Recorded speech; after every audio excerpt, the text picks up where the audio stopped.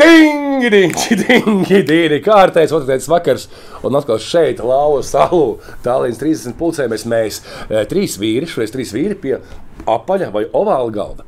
Jurijs Gājos, es, Kristiāns Kreļins un kaut kur redzēts sportists?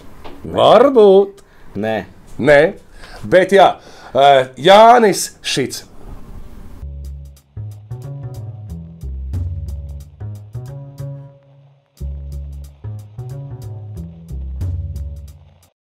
Šodien viesis. Daudz jautājumu, vai ne? Tas ir Dārījos tētis. Va- Parunāsim vairāk par to, kā ir izaudzināt sportistu. Cik liels likmes vecāka liek ieguldās, lai tas produkts, kas tika kādreiz ielikts, sāk nest atpakaļ augļus, augļus un pašiem būtu prieks un lepnums. Pirmkārt, liels prieks, ka atnāci un uh, vispār piek, piekriti atnākt pie mums. Es tagad, kamēr tu pieteici viesi, sapratu, ka nesen bija, kas tas par raidījumu bija, kur arī bija uh, tēvs uh, Jānis. Sprukts. Nē, nē, nē, tā, tas uvo, tad trešais sanāk. Sandijs. Uh, Pinkuls. Jā, Jā, ļoti labs draugs. À, ja? Jā. Un ļoti labi argumentēti. un Tiešām, tā, precīzi. tā bija Gertrude. Nē, Es nezinu. Nē, Kas tā? M- MVP. MVP. Viena. Tur tik Fui daudz. viena. ā, Delfi, Delfi, Delfi, Delfi, jā. Jā. Un, ā, nu, ja jau tā, tad tas nozīmē, ka tas ir laikam sāpīgs ja? jautājums. Sāpīgi. Ir par ko parunāt. Vecāki ir sākuši, laikam, nevis vecāki, bet nu, aktīvāki, ja vecāki, kam, kam tas futbols kaut ko nozīmē. Ja žurnālisti ir sākuši, vecāki ir sākuši, viņš viņu cepties tā kā, nu, Bet klausies, šeit es tev teikšu, varbūt ā, tu vēl neteici pretenzijas, un kas, ā, kas ir slikti.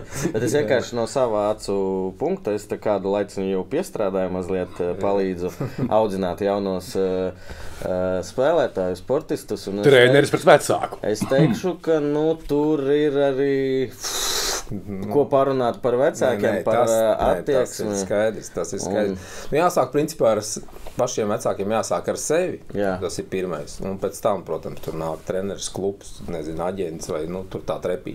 Bet, protams, ka pirmais ir jāsāk ar pašiem ar sevi jāizvērtē. Par to parunāsim. Jā, Varbūt uh, skaidrs, ka tie, kas mūsu skatās, zina, kas ir Dārījis Šīts, Bufons, laikam, tagad šitam vienmēr iet blakus. Uh, pirmkārt, nē, pirmkārt, gribētos novēlēt veselību. Kā viņam O, oh, iet, varbūt izstāstīt īsumā, Nu, operāciju uztaisīt jau mēnesi atpakaļ. kas par Tagad- traumu jomu. Ah, Jā. okay. Mēs zinām daudz, nezinu. Krusteniskā ceļa, krusteniskās saites plīsums priekšējās. Nu, Kla lat- Klasika, latviešu sporta nu, klasika. nu, es domāju, ka ne tikai lat latvieši, bet nu, pat tās Neimārs pārā un, un, un gan jau, ka pameklēt vēl. Treniņš spēle, kā notika.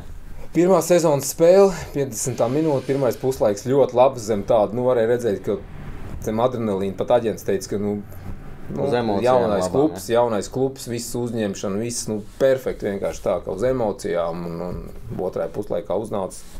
Pirmajā varbūt vēl nesanāca tā, kā gribēja, bet, nu, otrajā jau bija 0-0 un vēl, vēl trakāks iznāca. Un, Un čūš, nu, varētu teikt, nu, stūra trauma. Nebija pat nekāds kontakts, nekas tur. Uz līdzenas vietas, jā. tas Kā- ir- kā tas ir pra- vissliktākais. pra- Jā, jā, tā kā nu, tā.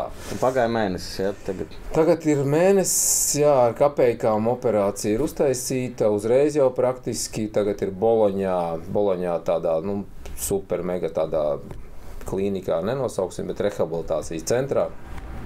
Uz vietas tagad dzīvo un, un, un, un, un, un viss divreiz dienā ir treniņi, kas nu, viens ilgs kaut kāds no, pat no 3 līdz 4 stundām, kur ir tur, nezinu, pieliek kaut kādu aparātu, kaut kāds atkal vingrinājums, atkal aparāts, atkal vingrinājums. un tā. A, Pirmā nedēļa bija vispār traka, tā, ka tā saite ir jau jāizstiep maksimāli, lai viņi pēc iespējas ir uh, elastīgāki. Nu, tad bija tā, ka nu, arī pat mam- mammai nestāstīja, kādas tās sāpes, tikai man. Nu, tā, ka, Zini, kas man bija? Man arī bija krustenis, kas man bija trakākais, kad eh, pēc. Es baidos samalot, tas jau sen sanāk, cik tas bija. Nu. Kad, cik meitai gadu? Tajā 11. gadā es pārāvu saites.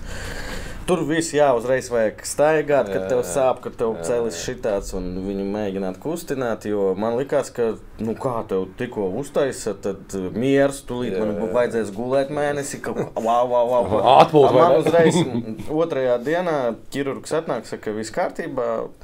Tur man stāsts bija, ka man paveicās, uh, viņš saka, kad es tevi ieraudzīju, es pateicu sev, nu, būs dirsā. Es saku, kāpēc? Nu, tu maziņš, locītavas maziņas. Viņš saka, ka tev locītava kā volejbolistam divmetrīgam. Man, nu, plata. Un varēja viegli mazajam, parasti tas ir vistuvāk, vismaziņš. Nu, tur vispār ļoti sarežģīti. Mikroķirurgs vai Mi, jā, mikroķirurgs, rūķu ķirurgs. Un, un viņš saka, celies. Es uz viņu skatos. Celies kur- un ej. Viņš saka, nostājies uz kājas. Pamēģinu tur ne visu svaru, bet nu, 30, 40. Tas bija pārsteigts. Nu, un tur sākas un uzreiz, bet man, par ko es sāku stāstīt, neatceros, saku, cik pagāja laiks, bet tas tā šuva vēl ir jūtīga. Nu, vēl viņa Man, sāp. man arī ir arī bijuši. Un es Viņ- noce- notupjos uz ceļiem, tad, tad var just, ka tā, tā kā, nu, nav- Es kaut ko ievēlēšos. Es nē, bet eh, kāpēc? Lai šuva nepieietu pie tur kaut kā un eh, nesauktu kopā, viņu masēja. Viņa vēl ir nav līdz galam, un viņi masē, masē. Un tu vienkārši es vieli ņēmu. Un man paveicās, ka meitene bija masiera. Es nevarēju parādīt, ka es vispār mīkšos. Es tur sēžu, ja nu, vi- viņas, es tur bļaustos, viņa saka, vari lamāties, vari lamāties. Es zinu, kā tas ir. jā. Es esmu- es esmu ārsts, es zinu, jā, Tas tas vienkārši nenormāli. Sāpīgi. stāstīja, ka tās pirm, nu, pirmā nedēļa praktiski nu, ne pa naktīm gulējis, neko Jā, jā. viss tādas sāpes. Nu, tā, un arī tā, nu, tie visi tā rehabilitācija, visi tie treniņi, nu, tā kā līdz, praktiski līdz dzīvonim. Bet, nu, tas, Bet tas nu viss pirmais- Itālijā, ja? Jā, jā, viss, tur, jā, jā. Es viss biju viens pirmās dienas, man uh, sieva bija Latvijā un uh, labi, ka jau nu dzīvoja tur 22. stāvā vai kurā. Jā, lifts bija, bet vienalga tur iet. Un man leiši, paldies leišiem, divi leiši bija. Viņi man ēst ūdeni nesa. Tā, tā bija diezgan grūti. Bet uh, uz šo mēnesi, kā izskatās vispār pēc plāna, bez problēmām. Nu kā? Es domāju, ka jā. Jā. jā. Nu, tā jau grūti pateikt. Nu, bet, bet nu, pa bišķiņam, pa bišķiņam, nu, tagad jau staigā bez kruķiem. tā Kā, nu, tas, domāju, ka jau rādītājs ir ok. Jau te bija te jau šodien, bija tur vingrinājumi, bija arī ielicis kaut kā Instagramā, ka jau tupjās tā, nu, jau normāli. Tā kā, nu, es domāju, ka. Protams, kājiņa tie jau palika uz tādu muskulītu pazudus, bet, bet nu, neko darīt. Nu, tas, tā, tas, Tu biji klātienē vai arī pie TV? Nē, nē, nē. Mēs bijām, nē? mēs bijām uz pirmssezonas spēli, nu, ģimene aizbraukuši, bet uz to uz sezonas pirmo spēli ne, ne, nesanāca. Un Mēs bijām pirmssezonas pret Atalantu 23. Bet, bet, nu, jā. Tu kā tevs, skaidrs, ka tev ļoti sāp šī tādi brīži. Uh, ar ko tu saistīji? Nu, tu vienalga, laikam, droši vien, ka domāji, ah, varbūt tur nepareizi, varbūt tā. Nu, tagad ir uh, Valdis Valters, kurš tur raksta, ka mums uh, neprot neko darīt, un tāpēc uh, visi rauj krustenes. Nu, es to. Nu, es baigi negribētu saistīt to ar kaut kādu jaunatnes nepareizu trenēšanu. Nu, labi, varbūt kaut kāda tur tie mākslīgie sēgumi, tur, ja, nu, ja viņš tur nav. Viņa visur tā kā ir. Nu. Bet, nu, principā, Itālijā švakajos klubos jau tāpat, nu, teiksim, tur kaut kādās tur zemākajās līgās, nu, tāpat ir tie mākslīgi. Kas ir švaks klubs cietā- Itālijā? Nē, nē, nu, es domāju, tur A, B, C, D, nu, kaut kāda D sērija. D sērija. C arī ir. C ir C ok. arī. Nu, D, nu, nu, jā, nu. Nu, ir C klubi, jā, to- nu, nē, tiešām, tur, kur ir- Kaut kā arī, vot tur, kur tagad Darījos Pals, nu, cik vēl nesen Spal bija jāsērijas klubs Jā, jā. vairākus gadus pēc kārtas. Un, bet, nu, tur, tur tik ātri viss mainās, ka, nu, nu tu, viena neveiksmīga sezona, pēc tam vēl viena neveiksmīga sezona, un tu jau no A, es jau, jau C. Un, Nu, Juventus variants, jā? Apakšā. Nu, tur augšu. cits bija. jā, jā, bet, nu, Nu jā, es negribētu to norakstīt uz kaut kādu, nezinu, nepareizu. Tur, nu, es domāju, ka nē, nu, tur tie aptaka Darīja jau teica, ka viņi tas ārsts, ārstējušies ārstis, ka viņam uzdev tos jautājumus. Nu, tie jautājumi ir tik daudz, sākot ar to, ka, ko, kas, kā, beidzot ar to, kā tu gulpi pa nakti. Guli, vai tu ko guli- ēd. Jā, vai, un, vai tu gūsi to sānu, vai tā, vai tā. Nu, tur, nu, un, un, un, protams, ka tā standarta variants jau ir laikam, ka hamstrings nav Disbalance. Ha, nu, ka hamstrings nav stiprāks par jā, aizmuguri. jā, jā, nu, un arī jau pirms tam tieši bija bišķiņi tas hamstrings savilkts tieši kaut kādu laiku pirms tam. Un, nu, nu, nezinu, baigi negribas tur nu, meklēt kaut kādas. Bet kā arī pats uzņēma šo te, jo es eh, klausījos tajā podkāstā, vai Lukatē, vai kā bija Žagars, laikam. Vienā no šiem. Nu, viņš tā arī teica, ka nu, viņš bija zvanījis arī Fāterim. Tā kā vienkārši vienkārši tu braudājies par to, ka Nu, nu, nu. liekas, to būs un, un, un viss. Nē, nu, zini, kā mums ir tā ģimene, man tādā ziņā ir paveicies, ka man darīja zvanu tad, kad ir nu, viss baigi forši. Un sievai zvanīja, tad, kad, nu, tad, tad, kad viss ir slikti. Un tad viņš zvanīja uzreiz sievai. Protams, ka nu, asars acīs un saprot, ka, nu, ka ir viss slikti. Bet, bet nu, paldies Dievam, ka, jā, nu, ka man tiek tie Labi. Tu labi, tādā tie labie ilūzija pasaulē dzīvo. Viņš grib, lai tie- tevs ilgāk padzīvo. jā, jā, bet nē, nē, nu saprat jau, saprat jau, ka viss ir slikti. Kaut gan it kā mēs pēc tās, nu, zin kā tur domāju, ka varbūt vēl tas, varbūt vēl tas, bet es īstenībā jau sapratu uzreiz, ka krustenis kā. Mm. Vienīgais man bišķiņ tā kā mierinājums bija, ka nebija tas plīs, nu tā kā parasti skaņa pārplīst.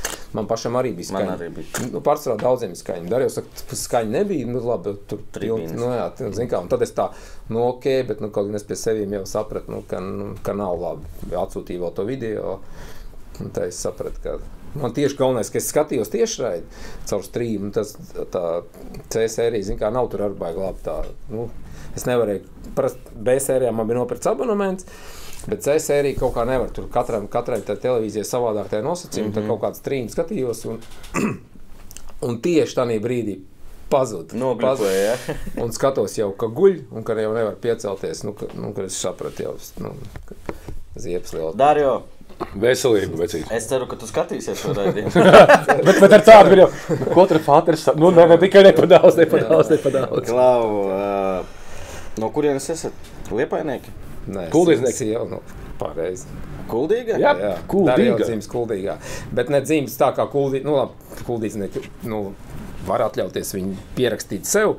Bet nu, viņš nav audzis kuldīgā. Viņš mm -hmm. ir tikai pavasarā pie Omas. Bet, uh, mēs aizbraucām, mēs jau ģimeni dzīvojām te Rīgā, bet aizbraucām piedzemdēt. Nu, Nu, jā. piedzemdēt Darījo kuldīgā. Jo nu, bija tāda bišķi individuālāka attieksme. Kuldīgas mm -hmm. jaunā slimnīca tikko kā bija uzcelta. Tur super numuriņš un tā. Un, un, un tad arī jau dzimis kuldīgā. Es esmu kuldīgsnieks, bet sieviete no liepājas. Tā kā tā. Kur zemnieki kārtīgi? Nu? Kur zem? Jā, kuldīgā daudz, ka ikaunieki kuldīgi, trēmanis kuldīgi. Vulkāns. Vulkāns. Vulkāns. Vulkāns. Vulkāns, jā. Vecais vulkāns kuldīgi. Ar, nu, ar, Venta kuldīgi. Tu pats spēlēji? es, es spēlēju. Jā, Ok! Pie trījiem, pie gvido. Nē, es biju pie.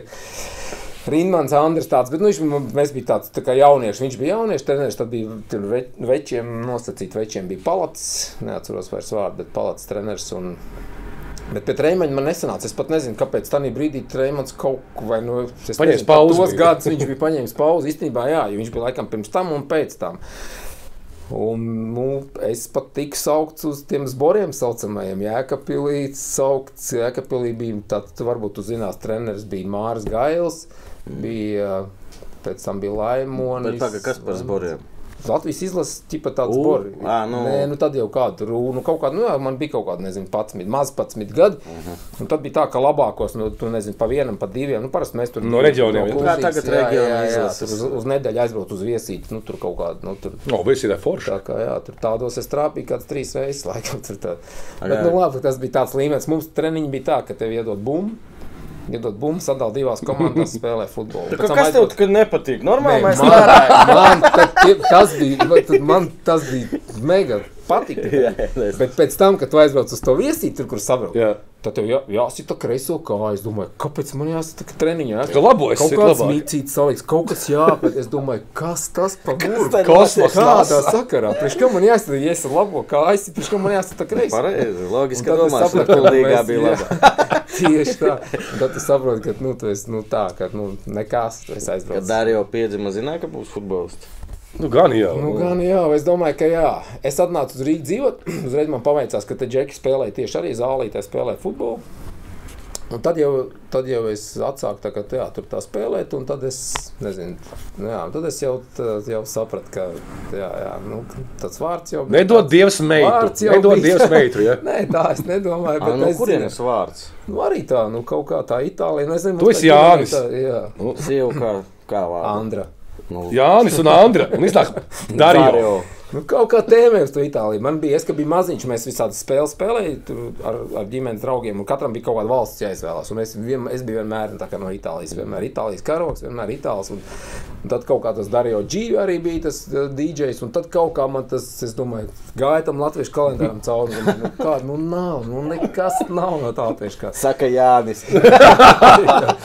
jā, jā, bet kaut gan es tam man ar to kaut kādu čomu pēc tam bija sadavuši vārdu Jānis, un es viņu gāju un paspiedu roku. Es saku, no, Nu. šajos laikos iedot Jānis. Jānis, tas tāds, nu, tas ir, nu, drosmīgi. Pagaidām, Tas ir drosmīgi, pateikt, jā. ka tagad. mm, Man liekas, ka nav. Nesauc pa Jāņu. Letencijas, Nu, drosmīgi letencija kaut kādi. Un, un Vigvami un uh, Kenija. Klausies, uh, jā. bet ar Liepāju kāds sakars? uh, Sievai? Nē, Sievai nē, vakar ar Dario.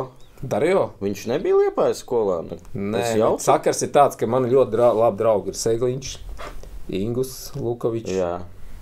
Nu, ko, kas Jurģis, bet nu, viņš vairs nav liepainieks. Nu, un tad bija tā, ka mēs Ko braucām. pagaidi Liepājnieki? Pagaidām, mūsu kādreiz Ko Jurgis tu- ir. ko tu runā? Jā, nu, ot, un, vienmēr sakot, es esmu labi sadraudzējies. Nu, mēs sen esam draugi no arī caur futbolu, sadraudzējos ar liepais treneriem. Un man ļoti patika Ingus, kā Ingus ar, ar Janku trenēju. Un Darijo pa vasarām brauc uz, uz Indiju, tad, kad vēl nebijām metā, kad vēl bija konto, kad drīkstēja tā vasarā aizbraukt. Tad mēs braucām pie Ingus uz individuāliem treniņiem. Mm -hmm. un, un, un tāds tas sakars vienreiz pat bija.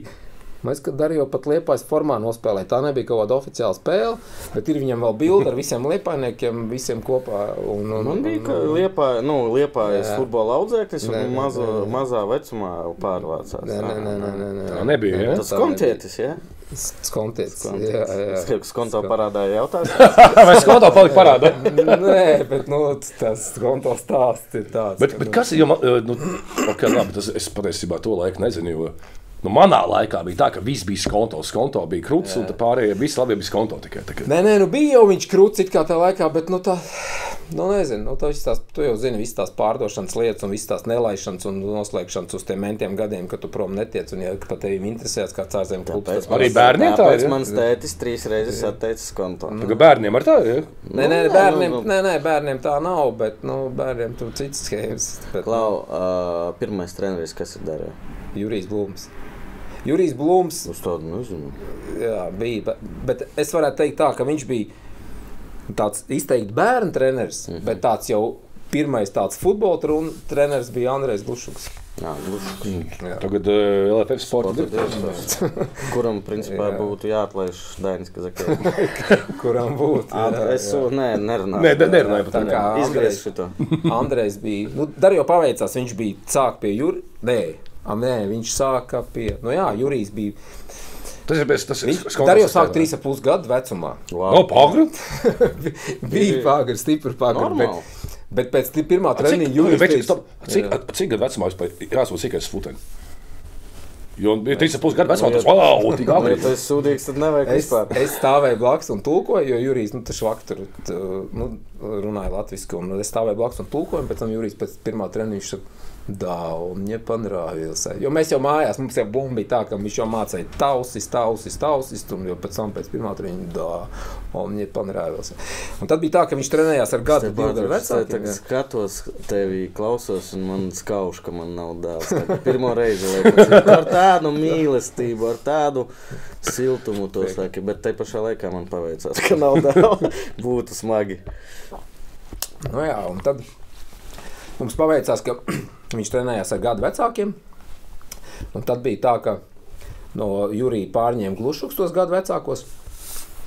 Un, un, un it kā darīja teorētiski, teorētiski bija jāpaliek pie tā savu vecumu. Pie Jurija jāpaliek, jo viņš nāca tā, ka, nu, Nu, jaunai. Bet, bet tad Andrejs pateica, es Andrejam saku, nu, tā kā viņš var iet tam tiem, tiem gadu vecākiem līdz pie tevīm. Andrejs viennozīmīgi. Un tad paveicās, ka viņš trenējās ar gadu vecākiem. Praktiski visu laiku trenējās ar gadu vecākiem, bet uz turnīriem gāja pie saviem gadiem. Mm -hmm. Un tas īstenībā ir tāds baisais, ko es arī stāstu, nu, kas ir tāds, nu, tāda laba lieta, ka tu to rūdījumu dabū pie gadu vecākiem. Bet, bet tur tu baigi nevar izfinīt. Nu, tur nevar, tu, tu cīnies par, teiksim, par, nu, tas tev jā. dod ļoti daudz, un Bet, tu bet, jā, un tu aizēji pie, un tu, sava uz turnīriem, uz tu aizēji pie savu gadu uz turnīriem, un tu jau drūdījums tev ir tā gada vecāka, un tu vari tos fins un visādas tādas ka lietas var pie tiem, pie tiem saviem īstiem gadiem tas, bija, tagad- tas, tā, tas bija baigais plus. RFS akadēmijā to pašu jau darat, pa talantīgākos. Jā, jā, Un, uh, es vi- vienkārši, nu kā, es negribu stāstīt, vot es, es, bet tu vienmēr uz sevi pārliec. Nu, kā, ma, kā manā laikā bija. Nu, tā kā es no ilūkstas tur. Viena gada komandas, nu tas nav iespējams. Nu, 85. bija divi, trīs cilvēki. Mēs spēlējām pie 4. 83. komandas eh, nebija, bija 82.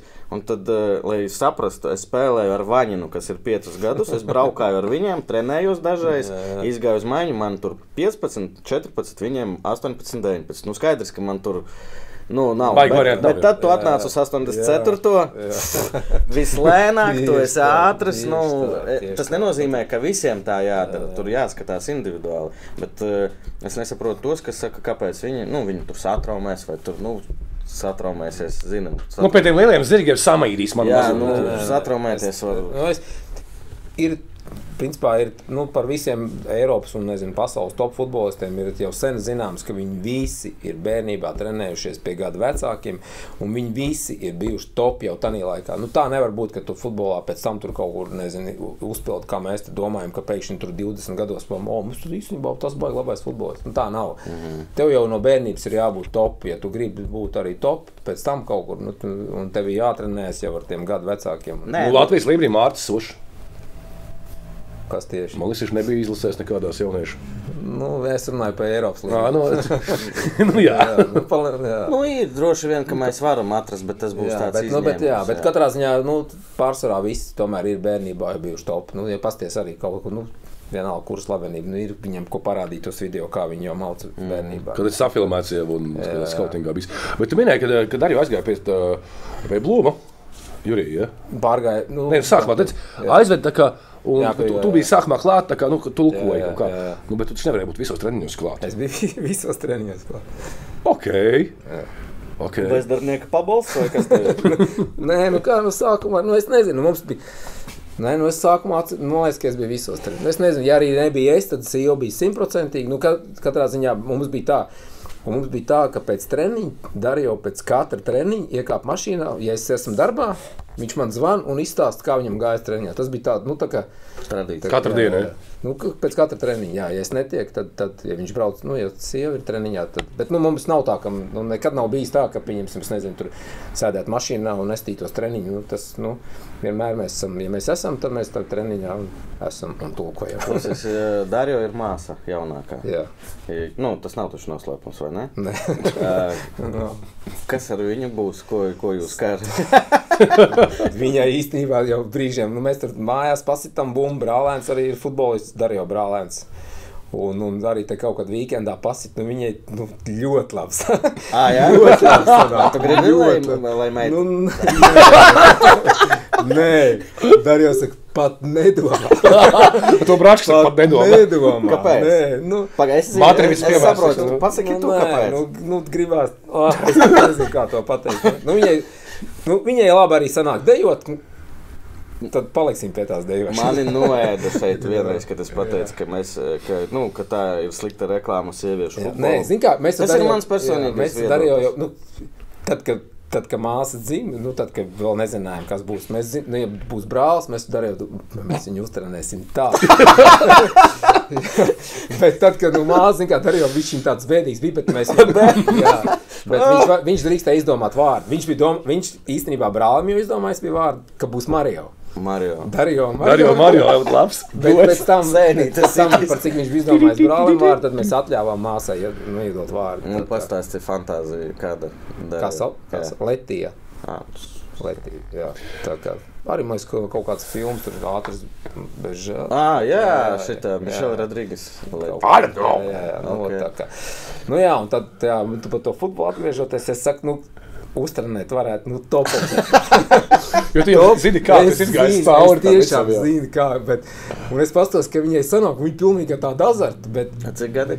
septiņi, pirmā klases skolā, un jā, jā. Nu, Būtu laiks sākt jau. Nu, būtu, jā, bet, nu, nu, es nezinu. Tu esi ta- ta- tas sēns, kuru labāk treneri redz nākam vai ejam. Tavuprāt, Treneri treneri. nāk, nākam, simtprocentīgi.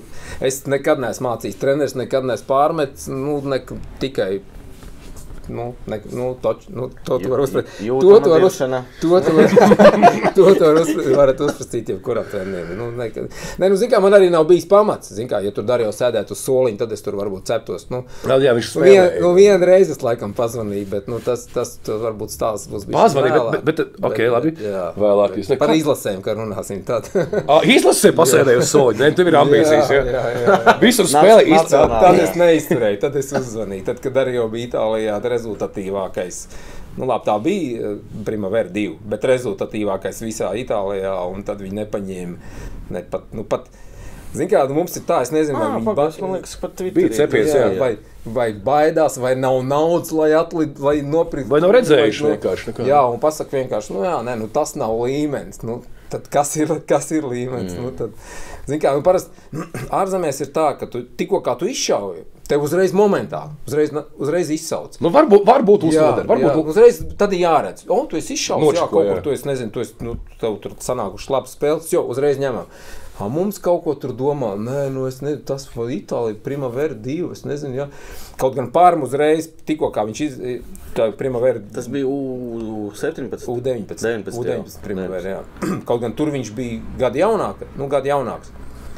Un pirmais ar bombardieriem, un uzreiz pirmā komanda viņu paņēma un, un noslēdz līgumu. Un, un, un mūsējais U19 nemaz neizsauc. Pat, nu, pat, nu, pat pārbaudīties neizsauc. Nu, tā, nu, Nu, tā tas tas. Un tad es neizturēju. Es Viņi- viņi Mazuram- negrib es traucēt attīstību. Es mazuram uzvanīju, neizturēju uzvanīju. Mazuram mazurs teica, ka nu, Čeks ir par to nu, Atbildīgs. atbildīgs un ka, rač- ka, ta, nu, ka tas nav līmenis. viņš vienkārši Ka nenoticēja. tas- Latvijas ka tas labākais. Itālijā. Nevar būt. Zini kā, es, es uzreiz varu pateikt par izlasēm, ka, tie, nu, ka treneri, nu, viņi nezina, kas vispār notiek. Nu, viņi nezina par tiem džekiem, kas ārzemēs spēlē. Viņi zina, kas te ir, viņi var aizraukt uz stadionu, bet viņi, nu, viņi nezina. Skautings kā Viņi- tāds baigs švaksē. Ļoti švaks. Ļoti. Nu, viņi nezina, kas, kas notiek ar tiem džekiem, kas viņi varbūt var uzvanīt. Nezinu, Pēc kā tu nedēļ- spriedi? Pēc kā, nu, nu, viņi neskatās, viņi neskatās spēles, viņi pat nezina, kur viņas var redzēt. Nu, tas, to es, tas ir simtprocentīgi. Tas simtprocentīgi. Ja pat, pat bija tas gadījums, Darīja arī vienā intervijā pieminēja, ka Jamons, Kristofers Jamons, viņš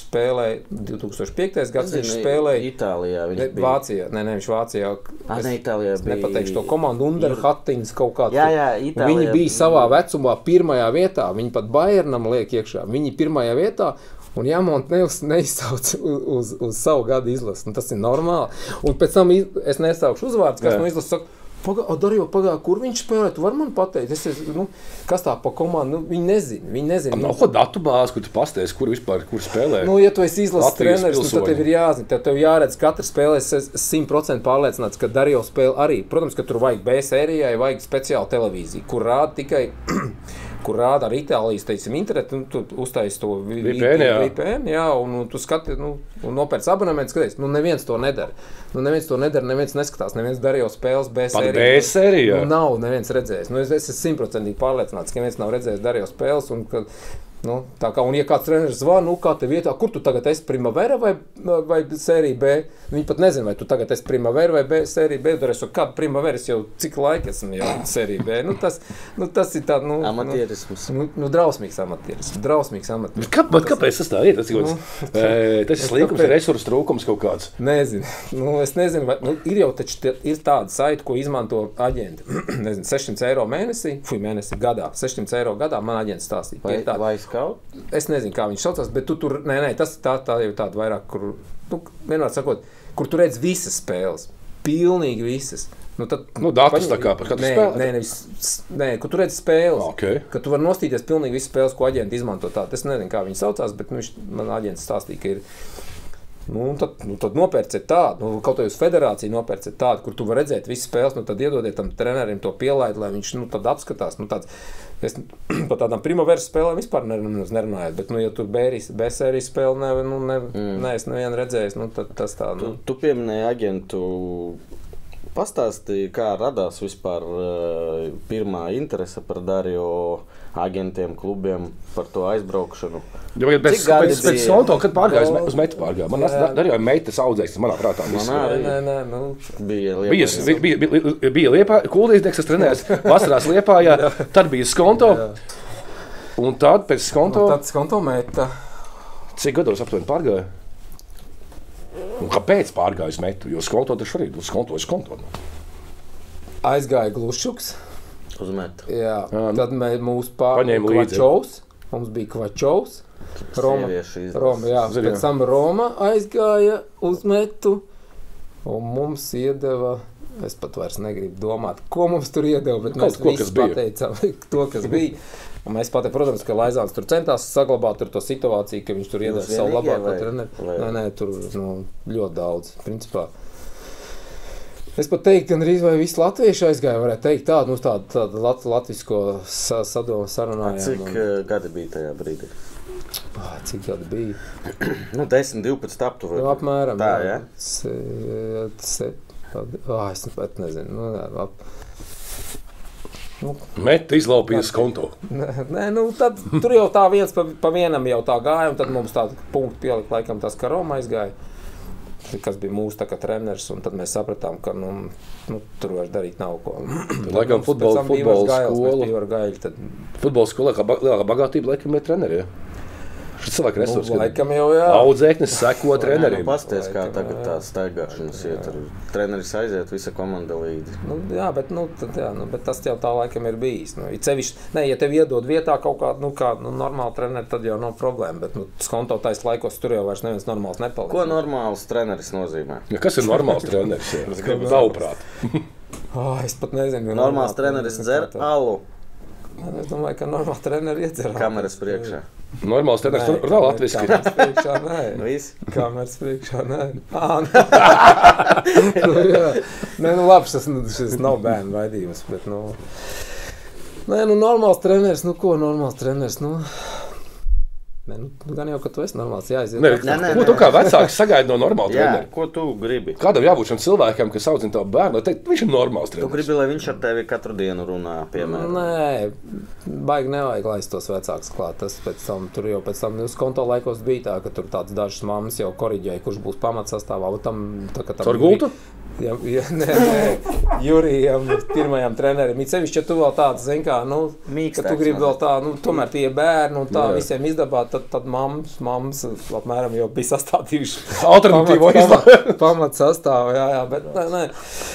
Nē, nu, normāls treneris gribās tādu nu, mūsdienīgu, nu, mūs, nu, nu, mūsdienīgi. Nu, mēs esam bijuši bijuši nokavējuši, aizkavējušies. tā Tāpēc Jēkabpilī bija mūsdienīgi. Ja? Jā, ka pilīt. Nu, tad, kad man bija Mārcis tev kuldīgā bija Sousou, jā, jā, īstenībā jā. Nu, salīdzinoši Jā, jā, īstenībā jā. Nu, Tas bija īstenībā labs salīdzinājums. Ja man kuldīgā iedeva bumbu un mēs nu, iedevām mums bumbu un sadalīja, tad Jākapilī jau bija. Bija fiškas. jā, Bija fiškas un ar kreiso kājās. Pa, pa, nu, jā, nu, tas, tas ir tāds preci, priekš tiem laikiem precīzs salīdzinājums. A, Tagad, jā, nu, tagad, nu, nu, nu, tagad man Nu, kas ir lielākā sāpe tev? Tu zini to jauniešu futbolu no iekšas, kā vecāks.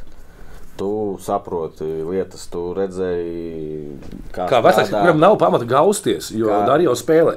kā strādāja Liepājā, nu, tur individuālie treniņi, kā strādāja Skonto, Meta, tālāk arī Itālija. Ot, kur, kas ir problēma?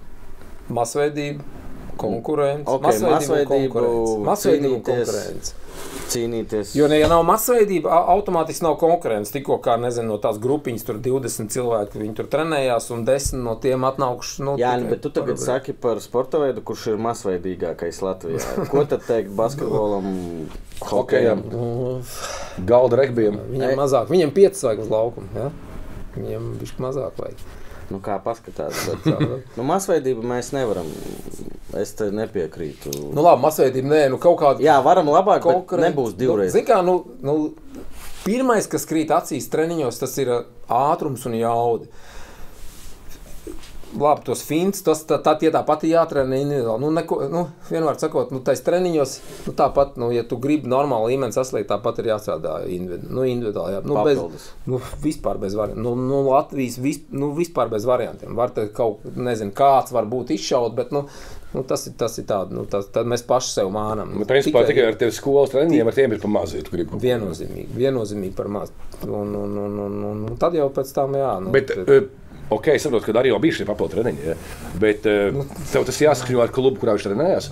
nu, nē, Nu, pēc idejas, jo varbūt nepareizi kaut ko viens mācīja nē, A, viens nē. B un beigās sanāk C. nu. Konto, kā jau es stāstīju, konto laikos mēs varējām aizbraukt pie Ingus, pēc tam, protams, metas laikos mēs nevarējām aizbraukt. Kāpēc?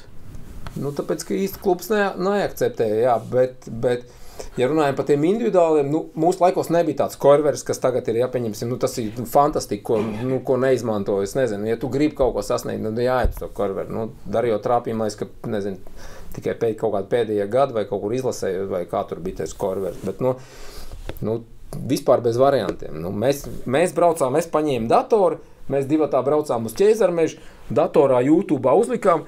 Un es pat viņam nemācīju parādīt, ko, ko tas YouTube. Un tad viņš pats skatījās, un tad mēs divi tā arī caur to YouTube kaut ko arī tur Mums darījām. uh, treneris aizsūta WhatsApp grupā uh, video. Viņiem mājās pašiem uh, jāiemācās. Un treniņā tad uh, viņi to parāda. Iemācījās Oh, vai nē? man vakar viens stāstīja. Vien, kad esat kaut kādā, vismaz jūsu akadēmijā, es nezinu, ja? Jā, Uh, tur aplikācija esot, jā. kurā ir kaut kādi tūkstošiem vingrinājumu kaut kādu. Pro Uh, trenā. ja? Kur sīkais, pats sīkais pats viņš mājās redz, kā ja? viņa senčs redz, ja? nu, tur ir gan tas, kāda ir treniņš, ka visa informācija par to treniņiem un, ving, un vingrinājumu. Tas pandēmijas laikā, man liekas, ka sākās viss šis. Es darīju arī, liekas, ka vēl tieši trāpīja, ka bija, ka bija dators priekšā un mājās tur taisīja visus tos vingrinājumus. Un, Tas, tas ir krūti tādā ziņā, ka vecāks Jā, ir bet tagad, jā, jā, nu, tagad nu. es saku, tagad jau tās iespējas pavisam citas. Nu, kaut gan baigi daudz, jo tie gadi nav pagājuši. Bet, nu, vienalga, nu, mūsu laikos nebija tā. tā mēs meklējām individuāli. Es biju apzvanījis visus, kas var patrenēt individuāli. Nebija varianti. Es meklēju jaunos kaut kādus, kas tikko kā ir beiguši spēlēt futbolu, kas tur ir kaut kāda, nu, tā, tieši kas ir tā tehniski Mans džeks. numurs nav. Nu, tad, tad, tad, tad nebija. Jā. Un, nu, īstenībā ne, nu, ne, nebija kur atrast. Un, ne, nu, tad, Nē, Darjo interesē arī spēle gaisā. tā kā. tā, tā, nu, Es iestu ar galvu vairāk nekā darīju savā karjerā. Simts punkti. nu, jā, tā kā nu, nu, tā. Kaut kā tā. jā. Bet uh, Kristiāna jautājumu nozagšu. Hokeisti saka, ka ļoti dārgi. Nu, ka Zenčs ziedojās reāli, ja izdevies hokejs izsties, tad principā vecāki ticamāk ir ziedojuši lielu daļu savas dzīves, lai viņš kaut ko sasniegtu. Tā Kā, kā ar futbolu? Nu, viennozīmīgi nav tik dārgs. Laiks jau visticamāk, tas pats, bet nu, tie laiki ir bijuši labāki nekā hokeja. Jo hokeja tur nezinu, 5, 6, jāatcerās 7 ledus. Mums ar tur ģimenes draugi ir, ko es abrīnoju. Vienkārši nu, tā, ka, nu, bet nu, tagad arī Džeks Amets darīja jau bendāzā gāja kopā, darī, nu, hokejs un futbolists. Un tagad, tagad ir Džeks ir Amerikā un viss kārtībā. Un arī vecāki tā, nu, tā- tādi paši. Un, tā kā nu, sasniegt var, principā, nu, nezinu, vienalga, kaut vai tā ir šauteņa mešana. Ja tev tas bērns trenējas tajā šauteņa mešanā, un ja tu gribi, lai viņš būtu top, nu, tad tu viņu vari uztrenēt. Tikai tev jābūt, jābūt pašam tādā iekšā. Tu nedrīkst treniņa laikā, nezinu, sēdēt mašīnā un nu, neinteresēties par to. Un, un, tā kā uztrenēt var, var jebko. A, Nav, pie- jums nebija tāda sajūta, ka tev vairāk vajag nekā darīju. Jo es šo redzu, Zin- tā ir ļoti liela tā, tas, ka domā, ka tas tie neizsapņotie sapņi. ja? Nu, tā Zini, kā jāiemāc ir tā, jāiemāc ir tā mīlestība pret to sportu. Un, un tad jau tas aiziet automātiski. Un tad ir tā, ka tu jau viņu vairs nevari dabūt no tā laukuma. Tad jau tev pašam apmēram, tu aizbrauc uz to treniņu, bet treniņš ir beidzies un viņš vēl stundu paliks izpratē vārtiem. Bet tu saproti, ka tu nedrīkst viņu par to grozīt, jo tas jau bija tas, nu, tas jau bija tas Mērķis, tavs, jā, ko tu, jā. ko tu, jā, tas tavs Bet, mērķis. ok, tu tā vie, to vienkārši pateikt, eh, iemīlēt eh, futbolu. Kā, kā to Nu, tas, panākt? vot tas ir, tas ir, ne, nu, es nezinu. Nu, nav taču receptes. Nē, nu, recepts nav. Bet, nu, protams, arī no pirmiem treneriem tas ir atkarīgs. Nu, protams, ģimene. Pēc tam, Zini, kā mums bija tā, ka nu, es domāju, ka tas tāds baisais klubs, klubs, ne, bet plus, ka mēs, eh, mūsu, nu, teiksim, lielā ģimene, visi tur vecvecāki un visi tur liepājas un kuldīgs rada. Vienalga, kur mēs braucam, mums visi tusiņi beidzās ar futbolu. Vien, nu, protams, ja mēs tur sēžam, nu, dzīvoklī, tad ne, kaut kā dzīvoklī. Latgalē beidzas citādāk. Nē, labi, dzīvoklī mēs arī esam augi. Bet uh, mums viss beidzās beigās tā, ka visi džeki ir norāvuši žaketes, visi ir uzlocījuši, nezinu, biks, un visi malc. Tikai dēļ viena darīja, beigās visi malc, malc futbolu. Jūs Nu, taču tā- latvieši, jo latviešu hokeju spēlēt. nu, nu, ziemā nu, atkal stāsts, jā, ka ot, vēl kas, kas mums pietrūkst, tas ir sēdes futbols. To jau, kād, tas jau kādreiz daudz Nav sētu? Nav, nav Nav sētu. sētu. Visi Un Darījo uzauga mežciemā, kur bija viens basketbolists, Darījo futbolists, viens hokejists, viens florbolists un viens volejbolists. Mm -hmm. nu, tagad tā, vispār- vispār- sporta veidus māca. Viņi spēlēja visu. Darīja mākslinieks super slidot, mākslinieks spēlēt eh, florbolu, mākslinieks spēlēt basīti, mākslinieks spēlēt volejbolu. Savukārt viņi atkal visi mākslinieks spēlēt futbolu, tāpēc, ka Darīja viņiem ir iemācījis futbolu. Viņi katru vakaru kaut ko mācīja. Nu, katru vakaru kaut ko visu laiku, nu, vis, visu laiku bija tā, ka es Darīju paņem no sētas, jābrauc uz treniņu. Viņš saka, kāpēc? Kāpēc man jābrauc? Tu jau piekusi sev tas visu. Futbols riebjās. Nu, apmēram tā, kāpēc man tāds liktenis? Tu izvedi viņu tā sēdz ārā, tā lai tie draugi vairs neredz. Apmēram jau tā bišķi nomierinās. Aizved uz Hanzu. Jau viss treniņš ir pagājis. Un tad tu sēdi un vēl stundu viņa gaida. Es saku, Dārījā, braucam uz mājām. Nē, es vēl paskatīšu pa vārtiem. Es saku, nu, Dārījā, braucam. Nē, es vēl bišķiņu paskatīšu. Es saku, nu, ok, nu, labi, tas nāk lietas labā pastīs. Braucam mājās atpakaļ. Viņš jau ma šitā tajā mašīnā, es esmu tā nogurs un iebraucu sētā. Atkal draugi. Viss. un tā arī augšā neatnāk. Un, ka, saskaitot kopā visu to, nu, tas ir. Nu, tas ir Bet, klausies, tas ir ļoti labi, jo mēs arī, nu, nevis nesen, mēs pārsvarā runājam, ka bērni šo, šobrīd viņiem ir tikai treniņš. Tieši tā. Ja nav individuālo treniņu, tagad tas nu, Vai tas sētas viss vai pagalma, vai- Bet sētas tas ir, nu, tas tas ir, ir minimāli. Tas ir, jā. jā nē, nu. Mēs taču uzaugām, mums nebija ne telefona. Es, saku, es negribu izklausīties kā vecs kaut kāds. Es, es Pēc sevis negribu izklausīties, eh, Es jau uh, sievai teicu, kad mēs tur par mūsu bērniem runājam, ka telefonā es saku, ja man viņas vecumā būtu telefons, dators un visas tās iespējas, nu es šaubos, ka es ietu uz pagalmu, volejbolu, tur nezinu, skriet pa, pa mežu, tur kaut ko uh, nu, spēlēties. Skaidrs, ka es spēlētu. nu, Tas ir normāli. Un šobrīd, ja nu, nav to pagalmu, nav Nē, nē, tā Nosauksim ir- tā to. Uh, aktivitāšu. Tā tā ir. Ja sevišķi tie, kas centrā dzīvo, tā ir mums tādā ziņā paveicās. Nu, tagad reāli, Žiga, kur mēs dzīvojam tajā ēkā. Ja? Nu, blakus. Ja tev būtu mazais jūrijas, kuriem ir nezinu, 8 gadi, ja? un man ir 9 gadi, Ej, mums ir ok, labi. Teorētiski varētu uzspēlēt futbolu, varbūt tajā centra sporta kvartālā. Mums paveicās. Jā. Bet arī, ka tur nav līnija treniņa, ka tur nav tas, tas, tas, tas ka tiec iekšā tur vispār. Tā ir problēma. Jo viss ir apbūvēts un tādu zaļo pleķu nav. Diemžēl, vai par laimi. Jā, tā kā. Bet treneriem vienmēr ir taisnība. Domā, ko runā. Nu, nu tā, kā, kā lai saka, nē, nu,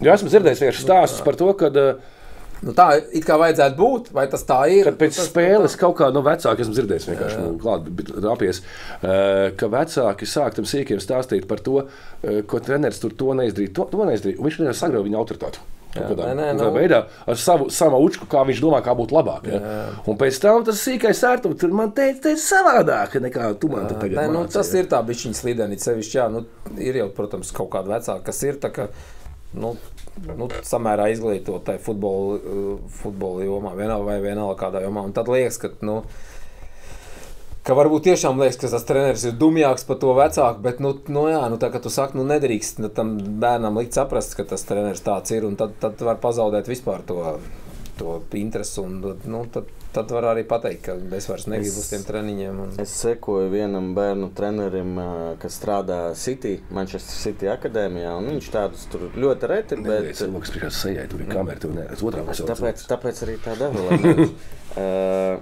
Un tur bija foršs, uh, viņš pusotru minūti stāstīja par braucienu ar bērnu pēc treniņa spēles. Vecāks tētis brauc ar, uz mājām, bet bērnu. ka Tas ir svarīgākie brīži gan bērnam, gan vecākam. uh, Tieši tas brauciens no treniņa. Un tur vienkārši viņš saka, tik ļoti svarīgi, ko jūs darat, ko jūs sakat. Tev jāprasa, nevis jāsaka, ka tu tur varēji iesist, vai tu tā neizdarīji. Tev jāpajautā, tu izbaudīji šodienas spēli, vai tev patika, kas tev nepatika. Nu, un, dažreiz labāk paklusēt, lai bērns pats sāk runāt. Mums tā, mums tā ir bijis, kad arī jau slikti nospēlē. Mēs braucam, mums ir arī ģimenē tas plus, ka mēs ar sievu esam uz vienu viļņu. Nekad nav bijis tā, ka, ja es tur darīju, tur sagrozīju pa kaut ko, tad sieva viņu aizstāvēt. Nu, tieši pa futbolu. Nu, tas ir pareizi, Jā, vai, vai otrādā. Un tad ir tā, tad ir tā ka, ka jā, mēs pēc kaut kāda arī pat sievas vai iedod iekšā vai ko. Un mēs tā, tā, kad tu sāki braucam, un cilvēks domā, nu labāk vispār neko neteikt. Nu, jā. Braucam, un pēc slikta nospēlēta turnīra vienkārši klusums mašīnā. Un Darīja jau pats saprot, ka, nu, nu, ka viņš neizdarīs. Zini, kā, nu, tev jau var, nu, var, var sanākt, vai, nu, teiksim, vai nesanākt. Galvenais, vai tu esi darījis visu pēc tīras Nu, cits. jā. Es man arī tā prasu, saku, nu, tu izdarīji visu, nu, teiksim tā, nu, nē, nu, es saku, nu, visu, nu, tad nu, tam nav ko, nav Ko tālāk vajag runāt, jā, jā. jā, jā. Protams, ka tev, ok, tu trāpa štāni vai kaut kādu vai kaut kas tur, bet, bet ja tu necīnies un nenoskrien līdz galam, nu, tad visu, nu, tad mums nav ko runāt. Nu, tā kā, nē, ne, visādi jau bijis, nav jau tā, ka tikai tur, nu, tikai tur čempions un tā tālāk, bet, nu, Bet pozīcija darīja uzbrucējs. Nu, tā kā Kā, tev, tā- kā, tas, kā tas aizgāja vispār? Tas bija kaut kas, tev bija jūs vecāki vienmēr lielāko pici pelnu uzbrucēji. Tas ir skaidrs. Ja? Hokejā visi viņa dēli ir uzbrucēji ja? un meitas. Ne vārds ar hokeju, ne? Ne, taču beidz. Tev bija kaut kas, kas tam virzīja, to, nu, ņemot vērā, ka tu biji klāts jau pie rokas jau no paša, paša sākuma, ka tu, nu, varbūt dari jau uzbrukumā pamēģiniet, tā kā, nu, tu, Nu, nē, Varbūt sanāks. nē, nē, nu es saku, no tos sitienus jau tajos trīs ar pus gados jau mēs bijām iemācījušies. Nu, kā treneris jau redz, nu, ja tu atnāc. tev māks ej priekšā. Tev jau trīs ar pus gados, ir, nu, tā, nu, apmēram tā jau var izvēlēties. Nu, un tā kaut kādas tur tādas, zin kā mums jau ir tā, ka tos, neteikšu, izlākos, bet, nu, tāds, nu, vājākos noliek aizsardzībā. Nu, ja? tas ir visur Un tos tā. Pagaid, pagaid, jaudīgākos- pagaid, stop. Jā. Mums Latvijas izlasē viss ir aizsargi. Secinājumi. Nu, nu, tas labi. Par to mēs droši vien vēl parunāsim. Bet, Tas nu, jā, ir. tas Heiteris. Nē, vispār tas ir fakts. Visi spēlē aizsardzībā, pat kur Pat treneris. Labi. tas jaudīgākos noliek priekšā, un tad jau tas arī pēc tam tā izveidojas. Mm. ir kaut, kāda, kaut kāds veids, kā tu esi audzinājis dēlam drosmi. Jo man liekas, spēlēt priekšā līnijā. Tas vajag drosmi, lai tu ietu uz to apspēlēšanu, lai tu nemīstu apspēlēt. Tu pieļaus kļūdas, loģiski, tu pieļaus kļūdas. Zini, kā ir. Man liekas, ka. Man liekas, ka nu jā, ir kaut kā treneri, kas kā vairāk. Nu jā, tur tikai jādod piespēle, lai tikai rezultāts. Jo tu kā. kļūdīsies apspēlēt, tu tu būsi kļūdas daudz. Viņam bija baigi, lab, baigi labais gads un baigi labais tāds, nu, izrāviens un pārliecība pēc Girta Mihelsona. Tad, kad man liekas, ka, man liekas, ka Girts vēl pēdējo gadu trenē vai vēl pēc tam. Viņš Girts- tik mazos trenē, ne? Jā, nē, bet bija viņa Girts. Parasti trenēja, tad, tad, kad pāriet uz lielo laukumu, U14 laikam vai kas. Un 13 vai arī pāriet U13. Un, un Darijo tas bija labākais gads. Girts teica, ej, lauzies iekšā, ej, lauzies iekšā, tu, tu. Un Darijo vienkārši gāja un bija labākais bombardieris. Un, un ja, tu, ja tev ļauj, ja tu vari, tad tu Ja tev nelabā par to, ka, o, tu kļūdījies, jā, nu, nē, nu. Jā, jā, jā. Nevis tur rādot piespēli, Jā. kāpēc tu tur neatdevi, tur tas un tas. Girts teica, ej, ej, sodlaukumā, ej iekšā. ej." Un beigās sanāk tāda Visu pasošanās visu laiku, tāpēc, ka tu, tev ir iespēja, nē, tu atdot bumbu kādam citam, lai nekļūdītos pats. Jā, Tā jā, nedod jā. tu galvu, tikai jā. nos no sevis. Jā, es neko, piespēli. es nekļūdījos. Jā, jā, un Tas tad, bija labs. tad, jā, principā, tas bija tāds, tāds baigais izrāviens gads, ka tā, nu, labi, nu, tāpat jau viņš tur bija savā vecumā, tur viens no top, bet nu, tā, tas bija tāds, man liekas, ka iedeva tādu baigo pārliecību. Un pēc tam arī tās izlasēs bija tā, ka varēja, nu, ka varēja Pagāja 20 minūtes, es uzdevu jautājumu, kad parādījās pirmās intereses par Dāriju. tu neizstāstīji pirmā? līdz Pirmās intereses parādījās uh, pēc Baltijas kausa. U- U16. Nu, kas viņš skaitās? Nu, viņam bija 15 gadi, tas bija U16 Baltijas kausa. U17, U16 vai tad Nē, Bija Es nezinu, U16 nezinu. Ok. bija. Jā, Mm. 15 gadīgie spēlēja U16. Jā, jā, jā. U16 Baltijas kausa. uzvarējāt? Uzvarējām. Uzvarējām, darījām tur kaut ko sasita, bet baigi daudz nē. Bet pēc tam, tad, kad bija aģenti uztaisījuši to video, viņiem arī pat tie goli tur baigi neinteresē. Kādi aģenti? Viņi Vienkārši aģenti. 007 vai kas? Nē, itāļi. Itāļi? Bija tā, ka Instagramā sāk rakstīt arī. Pēc tā Baltijas kausa sāk rakstīt. Viens pēc otras stāsts vai interesantais. Viens pēc otra sāk rakstīt, un arī jau tik man atsūta, man šī tāds uzrakstīt. Es uzreiz izčekoju. Nē, nu, apmēram, nu, Nebūs. mierīgi. Skaties nākošais. Nē, viss, Skaties, nākošais. Viņš, viņš tik man sūtos, viss, kas viņam rakstur kaut ko. Nu, čau, kā iet, apmēram kā. Nu, Dēls jau daudz zina, kā. Nu. Un pēkšņi viņš man atsūta viens, un es, protams, uzreiz automātiski paskatos, kas, kas viņam tur pa spētājiem, kas, un es skatos. Baltijas, tad, kad Dārījos spēlēja to Baltijas kausu, visu laiku runāja, ka nav atbraucis viens Igaunis, kas ir baigi labais Igaunis, jo viņš nu pat noslēdzis ar Romu līgumu. Un es tā domāju, kā, kā, nu, kāpēc? Nu, tu ir, var- viņš nav. Tas ir Jurgens. tā Nē, nē, nē, nē, nē, Olivers nē, nē, Jurgens, ne? nē, nē, nē, nē. Nē, nē, tas ir Jurgens. Ir vienu gadu vecāks. Ā, vienu gadu vecāks. Ah, aizmirsu tādu uzvārdu, bet nu, atcerēšos laika gaitā. Un, un, un, un. un vienmēr sakot, es domāju, kāpēc Igaunis var Romā ar Romu noslēgt, un Darīju jau nevar. un tagad man Darīju atsūta tos kārtējos aģentus, un es tā eju cauri un skatos. Tie ir tie, kas aizvilka to džeku no, no Igaunijas uz, Uz Romu, jā. Romu. Es saku, Darījā, bet šiem tagad atbild. Un sākās saraksts, tur vārds pa vārdam. Es jau uzzināju caur, caur uh, Igaunijas to klubu, Man Jānis Engels palīdzēja uzzināt, vai ar tiem, vai ar tiem nu, ar, nebija tā, ka nu, vai kaut kādas problēmas ar tiem aģentiem. Un tas prezidents, tā kluba prezidents atbildēja, jau bija parjātki. Tad es sapratu, ka nu, var, var sākt komunikāciju. Protams, ka tur bija garš un sarežģīts ceļš, bet nu, mēs sapratām, ka tad, nu, tiem Kas ir sarežģītākais? Nu, viņš nav pilngadīgs. Tev jāparaksta. Sarežģītākais līgums, ir tas, ka viņi uzreiz grib, lai tu paraksti. Tas, protams, ka lai viņi, nu, lai viņi jūtās droši, Jā. lai jā, uzreiz, apmēram, davai mēs tev uz Pirms viņi ieguldās, viņiem jau ir garantīti. Nu, tas, ir tas, tas ir tas pats trakākais stāsts, ko man arī daudz tagad vecāki zvana. Viens otram tur iedod man numuru un prasa, kā, kā bija tā pārējai un kas ir, kas ir jādara un kas nav jādara. Varbūt, lai ir- neatbildētu uz visiem zvaniem, tu šeit vari Nu, es- noformulēt es- trijās minūtēs. Vienkārši izgriezt savu video un viņiem Noformulēt. Ne, nu, nevajag uzreiz parakstīt. Mums tas ceļš bija tāds, ka mēs uzreiz neparakstījām. Es pateicu, ja, ja mēs. Ne, pirmkārt, bija sarunāts tā, ka ar meitu, nu, bet tas jau Mārcis Kalniņš bija kaut kur, jau ar kaut kur to bija stādījis. Tā, ka nevajag parakstīt, viņam dot pilnīgi visiem klu- klubiem. Jā. Lai viņš uzrakstu uz kaut kādiem sešiem vai astoņiem klubiem, kur, ar kuriem Vai nu viņam valstī, sadarbība, jā, vai valsts. Un viņam dod tikai uz tiem klubiem atļauju nu, tā kā Pārstāvēt. pārstāvēt jā.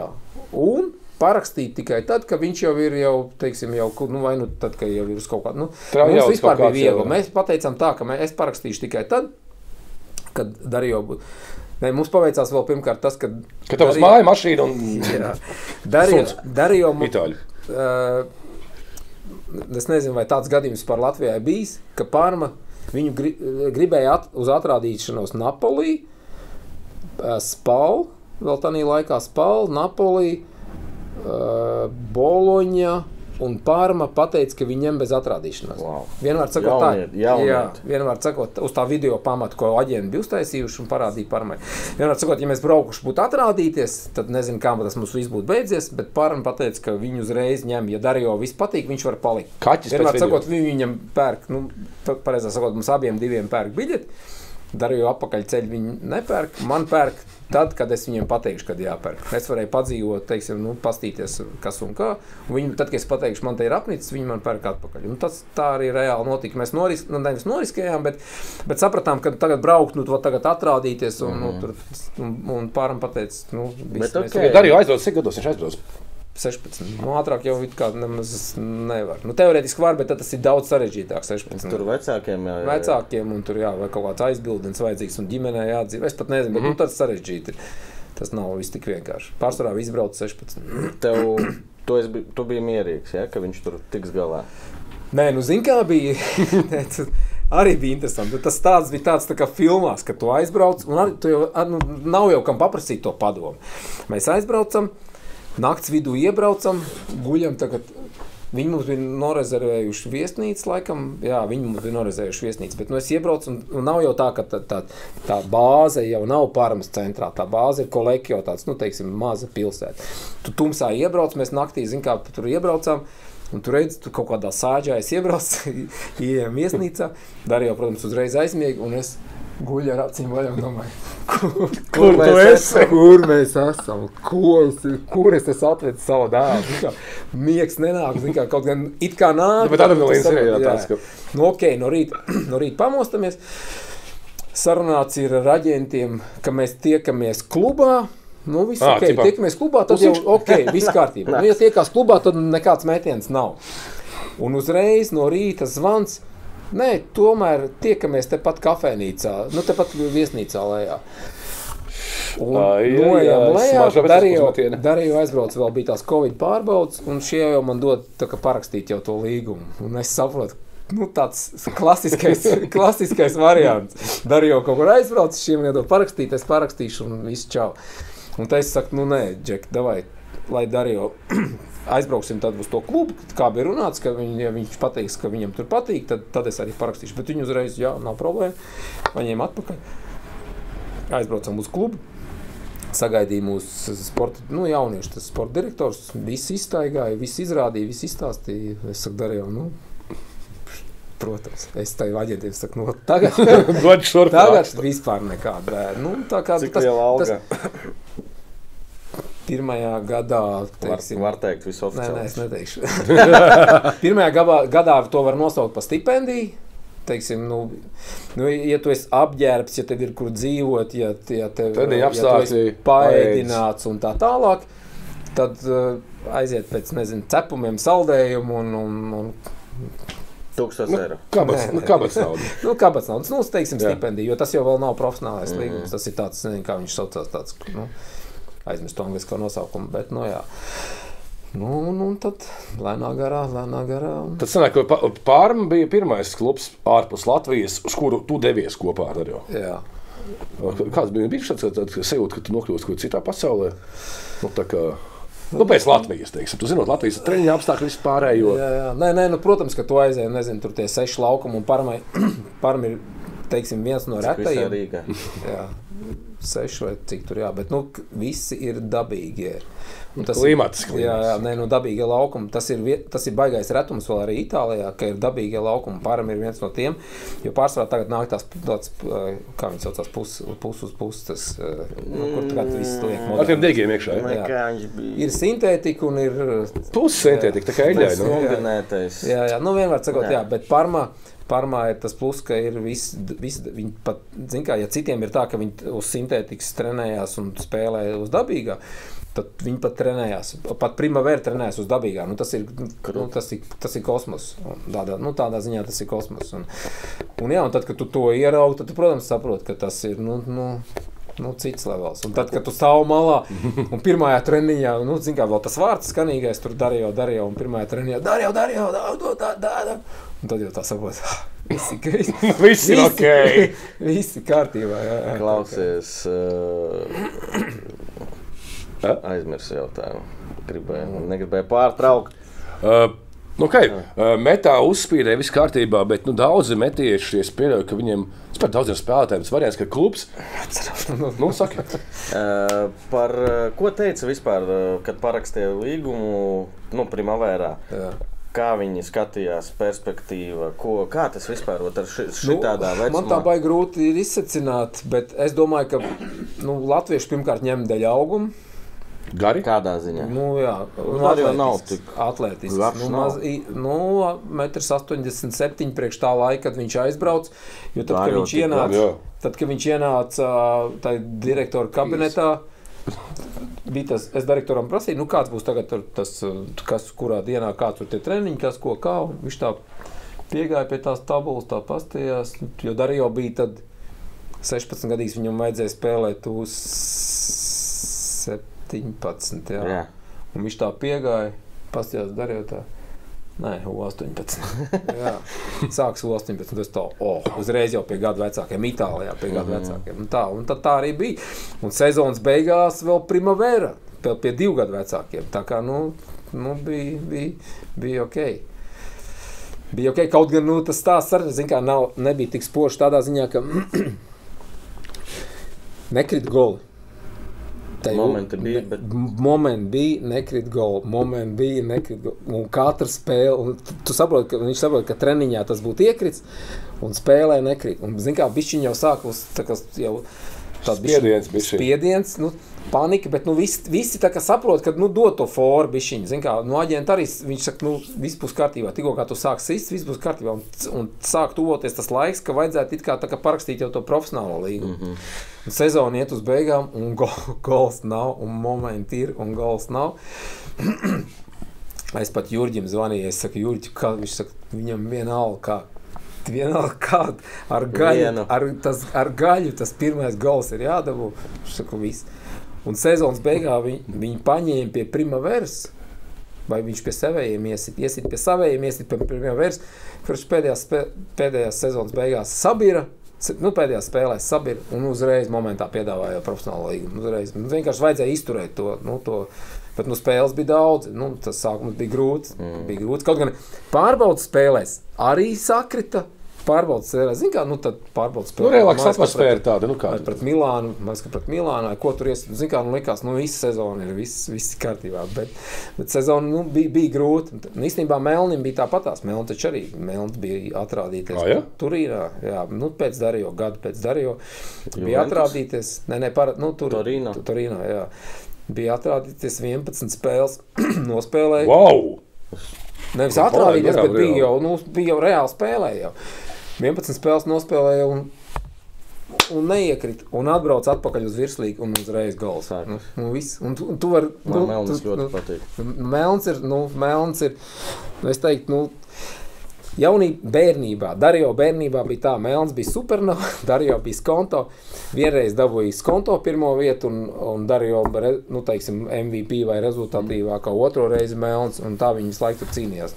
Bet es teiktu, ka pat biežāk varbūt, ka pat Melns, nu, viņš priekš tiem laikiem bija, nu, top of the top. Viņš ir supernovs audzēknis. Viņš ir supernovs audzēknis, okay. un, un nu, viņš nu, tā, ka bija nu, ļoti, ļoti. Klausies, viņam, ir, vat, viņam ir tas sēdz rudījums. Viņš spēlējas ķēngaragā visu laiku ar vecākiem džekiem, visu dienu dienā, un, ot, un viņam ir tas, tāpēc viņš ir tās sarkanās dabūkas. tāpēc, Pastāv par sevi, ja? tāpēc viņš arī. Bet, Kā skatās uz uh, tādu Darjo, labi, varbūt Darjo vieglāk? Melnim, arī Bruno, kur Jāņi, ja Jānis atbrauc, kā skatās uz Latviju? Nu, tu saproti, Kā uz ne Grieķi? jau- Ļoti, ļoti. Nu, tev, tev ir viss daudz, daudz grūtāk. Jā, tev ir līgums, protams, mazāks, tev ir jāpierāda sev. Nu, Vairāk jādara. Ja? vairāk jādara, un tev ir. Nu, Nu, tev ir, ja tu būsi vienā, nu, vienāds ar to vietēju, nu, skaidrs, ka paņems vietēju, un tas ir skaidrs. Nu, tev var paņemt tikai tāpēc, ka tev varbūt var piesolīt mazāk. Maz, nu, tam vietējiem tik maz nepiesolīs. Bet nu, tas, ka tev ir jābūt nu, tāpat, pieņemsim, jo tad, kad arī jau beidz to primavēru un pārgāju uz pirmo komandu. nu, Tev tāpat ir jābūt. Nu, tu nevari aizbraukt tikai un domāt, ot, ka tagad tu dabū kaut kādu līgumu, un tur tagad, nezinu, primavērā tu vai vienalga kādā tu tur ej, taisa jauniešos laukumu. Tev tāpat tā, tajā savā vecumā tev ir jābūt top. Jo man liekas, ka ar to primavēru kaut kādiem trīs vai četriem džekiem tikai pirmā komanda eh, noslēdz līgumus. Tas nozīmē, ka ir kaut kādi 20, nezinu, 5, 28 džeki vienkārši. Ir ar karjeras perspektīvu virslīgā. Bet tā jau ir. Nu, tas tā ir. Bet tā ir no katra vecuma viens, divi. Tas Jā, ir, jā, tas jā. ir jau. Nu, nu, tieši tā. pierādīts. Un Tas, zin kā, mums, ja, tev, nu, tā, tev jārēķinās, ja tu brauc prom, tad tāpat tev tur ir jābūt top. Nu, top tev, nu. Tāpēc varbūt labāk ir, nezinu, tur braukt uz Interu vai nu, uz Juventus vai kur, kur Nezinu, varbūt nav tik tāda. Nu, Dar jau paveicās, ka tā pārma bija ar tādu, nu, tā kā meta tādu, tādu, nu, tāds ģimeniskais, ka ar viņu tur tā kā auklējās, un direktoram viņš patika, un, un tad, nu, tad arī bija viņa vieglāk, zin kā, nav tā gaļas mašīna, ka, uh -huh. ka tur tas Atalanta vai Inters vai Juventus, ka tur tikai un viss, un tevim tur neviens neparunājās, kā tev iet. Tas ir normāli. Bet, nu, kā pirms, pirms, arī, pirms arī aizbraucu, nu, bieži vien tie stāsti dzirdēt par to, ka nu, tu 16 gadu vecumā tinies no Latvijas projām. Ja? Nu, nebija ka kluba pamē, nebija kaut kāda argumenta, ej, bet nu, viņam jānobriest vēl, tomēr, lai uzspēlē virslīgā vēl 18, 19 gadi. Tad brauks projām kaut kur. Nē, nē, nu, nu. Nē, nu, funkcionāriem jau ir tas savs kaut kāds redzējums. Un, nē, nu, zin, kā, ir kas ir nobrieduši, ir kas nav nobrieduši. Nu, tā kā, Es nezinu, nu, tas tas bija dzīves sapnis, tik projām, un, un, un mēs arī nu, tikko kā iespēja radās, nu, tad, tad, mē- nu, tad viss. Nu, tad, Tu saki, gatavs. Pagāja desmit minūtes. Es jautāju, tev, vai nebija bail viņu atstāt tur vienu. Tu pastāstīji par sevi, ka tev bail. Par dēlu tu nepastāstīji. Jā, galvenais, ka tikko kā viņš palika, palika, sākās tas Covid, uz čempionāts apstājās.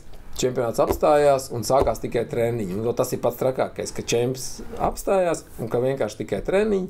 Un Tad tas tad, tad Nedabūna bija tāds, jā, jā, un tad bija tāds, nu, tāds, nu, tā kā, nu, Jā, mamma. Nē, nu kā, nu, mamma, es tev saku, mammai zvanu, tad, kad ir. Tad, Tā kā es slikti zvanu mammai, tad ir labi zvanīt tētim. Jā, tad, kad ir panākumi, tad zvanām tētim. Bet, nē, nē, nu, mamma tādā ziņā mums malāts. Mamma māk, māk nu, psiholoģiski tā uzmundrināt, ka, ja viņš zvana un grūzās, nu, teiksim tā, tad, tad nezinu, pēc piecām minūtēm. Pārzvani, kad atzvan- būs labs garastāvoklis. Pēc piecām minūtēm atzvanu vai Par atzvanu, valodu Itālijā. Labākie vecāki un tā Es nezinu, vai viņi angliski tā kā. Nav tur angļu Nav valodas. angļu. Uh, okay. Tu nok, pēkšņi darīji, vai tos Itālijā nokļūst trīs pusgadu vecumā konto. Ja? Tu neko nesaproti, kas notiek. Uh, kā, kā? Apmēram līdzīga Nu, tas ir līdzīgs sajūtas. jā. Uh, Kā tā aklimatizācija tā kā nu, tu, tu, tu esi no svešas zemes, tu neko nesaproti. Viņi tur, labi, es zinu, vienīgs labu vārds itālis, bet, nu, runā. Uh, Kā ar to iešanos? Zini, kā ir? Komunikāciju.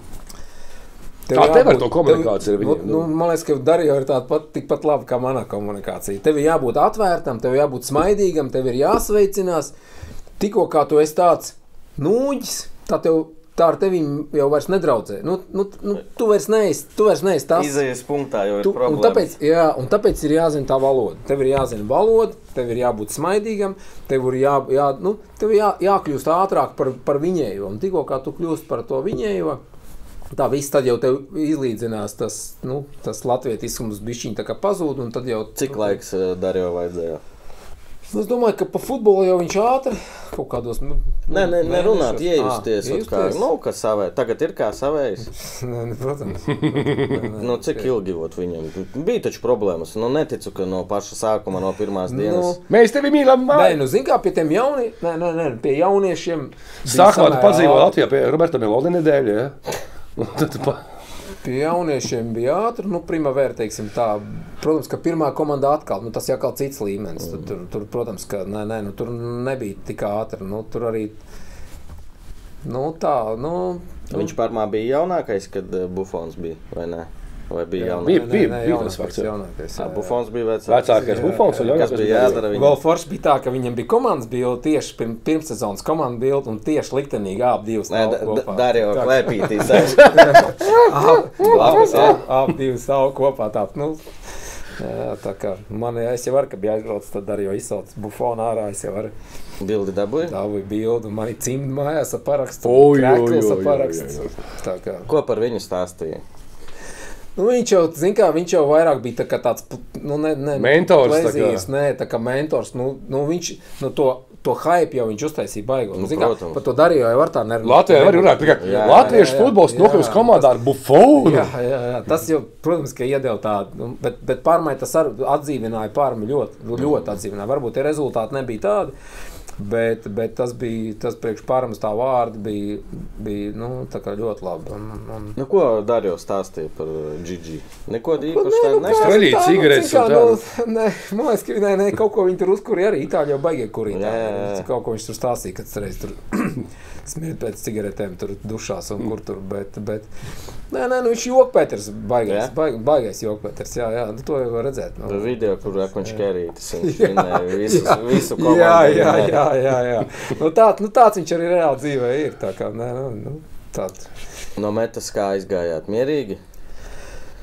Nu tā, nu, protams, ka metai bija savs viedoklis. Mums Sants Gribēja, savs paliek, viedoklis. Nu, varbūt Nu, vēl intereses, tas, tas, par ko mēs runājām, lai bišķiņi varbūt vēl apružājas, lai mēs ne, nu, tā kā uz pirmo piedāvājumu jau neiek, nu, teiksim tā, bet, bet nu, arī tie aģenti tur īsti arī tā kā meta neatrada kopīgu valodu. Un Tad tur tā kā bišķiņi bija tāds, tāds, nu, varbūt tur neforši, bet beig, beigās bija, bija viss labi, metē labi un mums labi. Bet kā ir eh, 16 gadi, tur taču kompensācija vienalga ir. Jā, jā, nu, tu, tas ir tā ir neizbēgami. Tas ir FIFA, tas, kas Vienīgais, ka droši vien, ja Darīja metā nebija profesionāls līgums.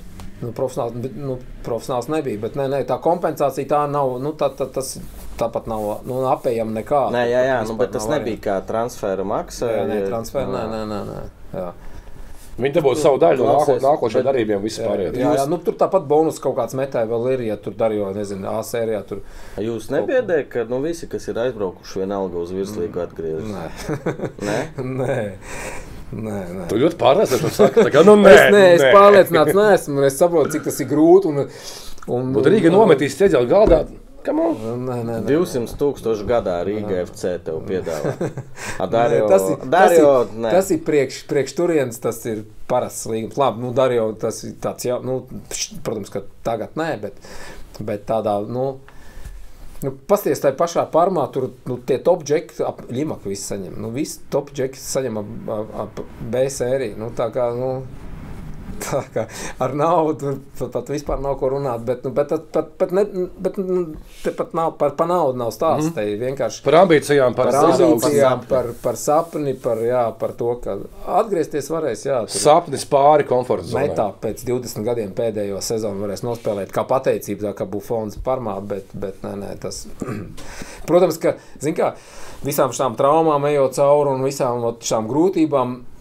Es saprotu, ka nu, mēs no tā neviens neesam pasargāti. Nu, ka tas, nu, ka, nu, viņš arī tikai cilvēks, un ka viņš arī kaut kādā brīdī var salūzt, bet, bet nu, mēs, Šaubu nav, ja. mēs ticam. Dario, mēs arī ticam. Mēs vēl. Mm. Sapņu, es domāju, pusdienas. Es domāju, aizrunājāmies. Eh, Pauzīt. Dingi, dingi. Ah, nē, nav sākums. Nav, nav sākums. Jā, bija pārtraukums. Stundu garš, tā kā atpūtāmies. Nu, nē, jokoju. Klau, par izlasēm. Jā. Visās izlasēs ir bijis, izņemot nacionālo pagaidām. Izņemot A, nāciju. gaidījāt jau godīgi? pasi- Gaidījām. Gaidījāt? Gaidījām. Nu, bet tu zini, tā nenotiek Latvijā. Es zinu, ka tā nenotiek. Tas jau ir tas, te, ko es jau pirmie teicu, ka, jā, ka ārzemēs ir tā, ja tu izšauj kaut kāds spēlētājs, viņam uzreiz. Tur viņi negaida uzreiz dot kaut Kamēr karsts, tikmēr- kamēr tur jā, kaut kādas schēmas sazīmē, tad tikmēr spēlētājs jau ir. Bet U21 tagad viņš bija pat kapteinis, nebija? O, U, nē, tajā Nu, 19. U19. Nē, Nē, viņš bija U- pēdējais bija Pa- U21, U21, pēc jā. Marino. jā. Nebija kapteinis pat. Vot.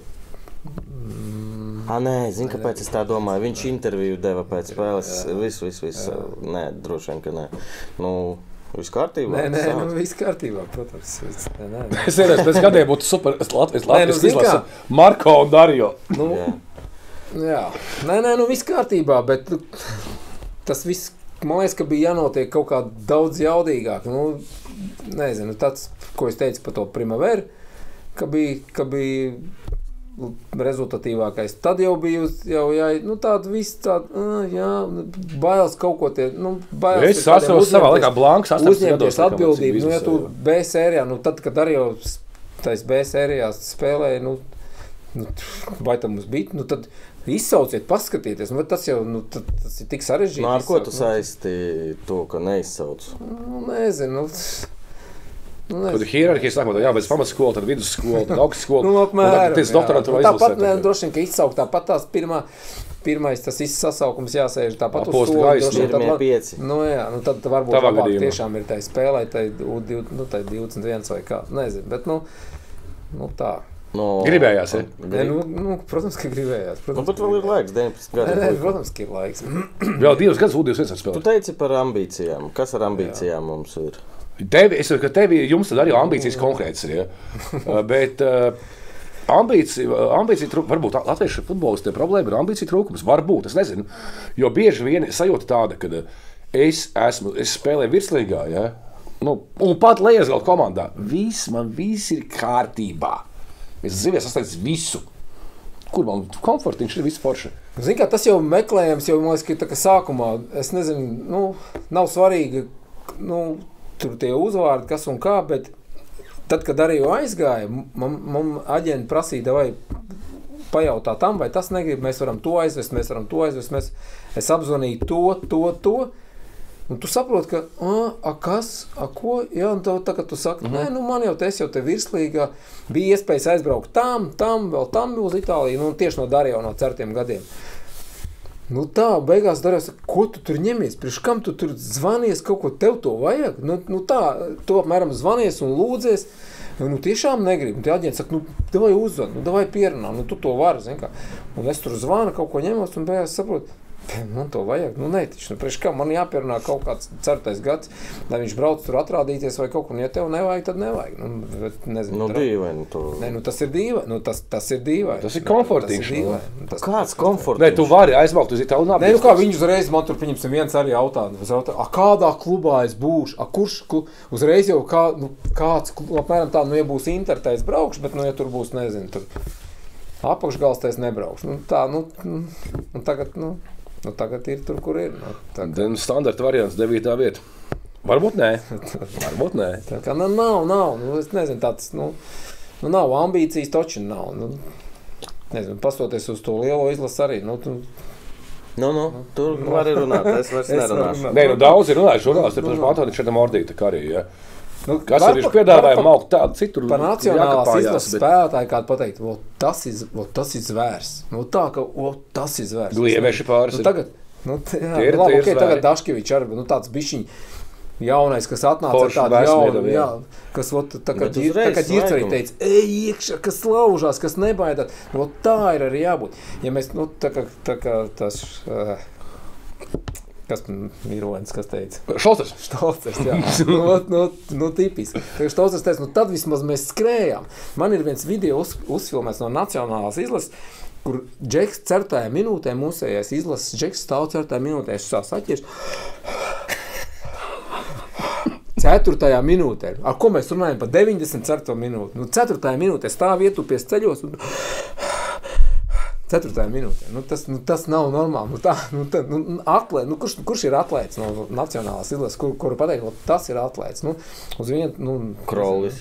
Nu, jā, bet nu, cik viņi laiž uz Gutkovskis. Nu, Gutko, oh, Gutkovskis, jā, nu, Gutkovskis. Atlēts. Nu, Tobers. Tobers ir atlēts. Jā. Nu, uz vienas rokas pirkstiem mēs varam saskaitīt atlētus. Un kas ir pārējie? Dod roku tā, tas veids. Bogdans, Tā, iedod. Samailovs. Šitā te iedod roku. Nu, nu, Nu, Pagaidām. Pagaid, bet, bet, bet varbūt daudzi saka, ka varbūt tie vienkārši mūsu griezti izl- izlasēt. ja Tie ir mūsu griezti, Nē, nu mūsu tie- līmenis. nē, kā nē, nē, Tas ir maksimums, izspiests un viss ir tā, ir mūsu vieta. Vairāk, bet, bet es, es nezinu. Nu. Jā, nu, kaut gan Līderi. līderisms. Līder, Bet, bet tas Latvijā vispār eh, arī uh, sadzīvē dažādās profesijās. Līderi ļoti maz ir līderi. Un, principā, sabiedrība ir izlases spogulis, izlases sabiedrības spogulis kaut kādā ziņā.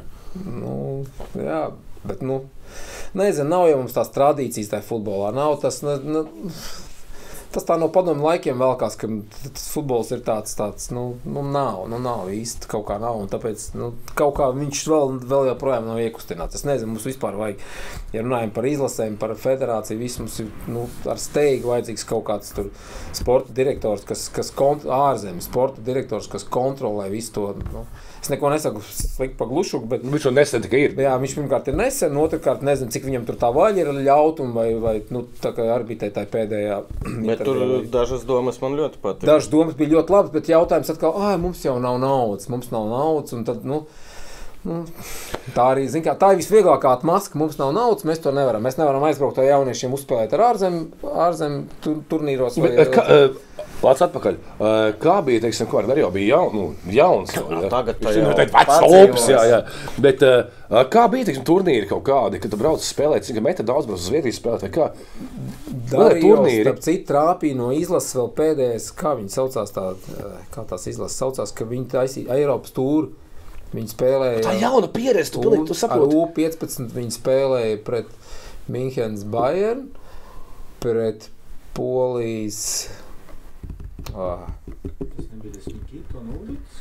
nē, Nē, tie ir veci. Le, ah, pret Legiju, Jā. pret Bayern, pret Legiju un Prāgas Spartu. Viņam bija tāda Eiro tūra, saucamais U, U15. Mm. -hmm.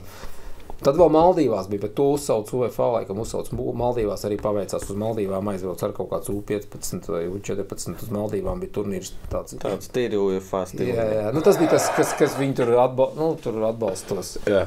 Atpalikušos, nu tā kā Latvija. Bet man liekas, tas ir forši, ka tu tajā vecumā nokļūsi, saproti, nevis spēlēt savā starpā, starp Cengrīgu, Simonu Jūglu, bet tu trāpies tur Nu, jā, redzi, tas jau tas, cik par tu ko labs Ilva- esi, tas ir tas, par ko tu stāstīja arī nu. tajā pēdējā, nu, ka mums katru weekendu, nu, katru weekendu, nu, tā kā ārzemē, nu, tā ārzemē klubu, nu, viņi katru weekendu spēlēja ar top, un viņi neizjūt to spiedienu. Mēs tas vienreiz gada, mēs Bet, vienreiz jā, gada tas ir virslīgā. Mēs visu laiku nospēlējam Rīgā pret RFS. Nu, tiešām tās spēles ir ļoti kvalitatīvas. Tur skatāmas, ne, bet Un tad gaidi nu, tur ir- pusapli.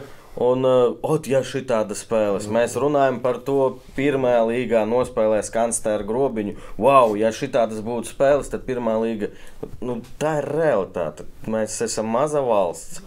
Tālāk jautājums, ko darīt? Ko darīt?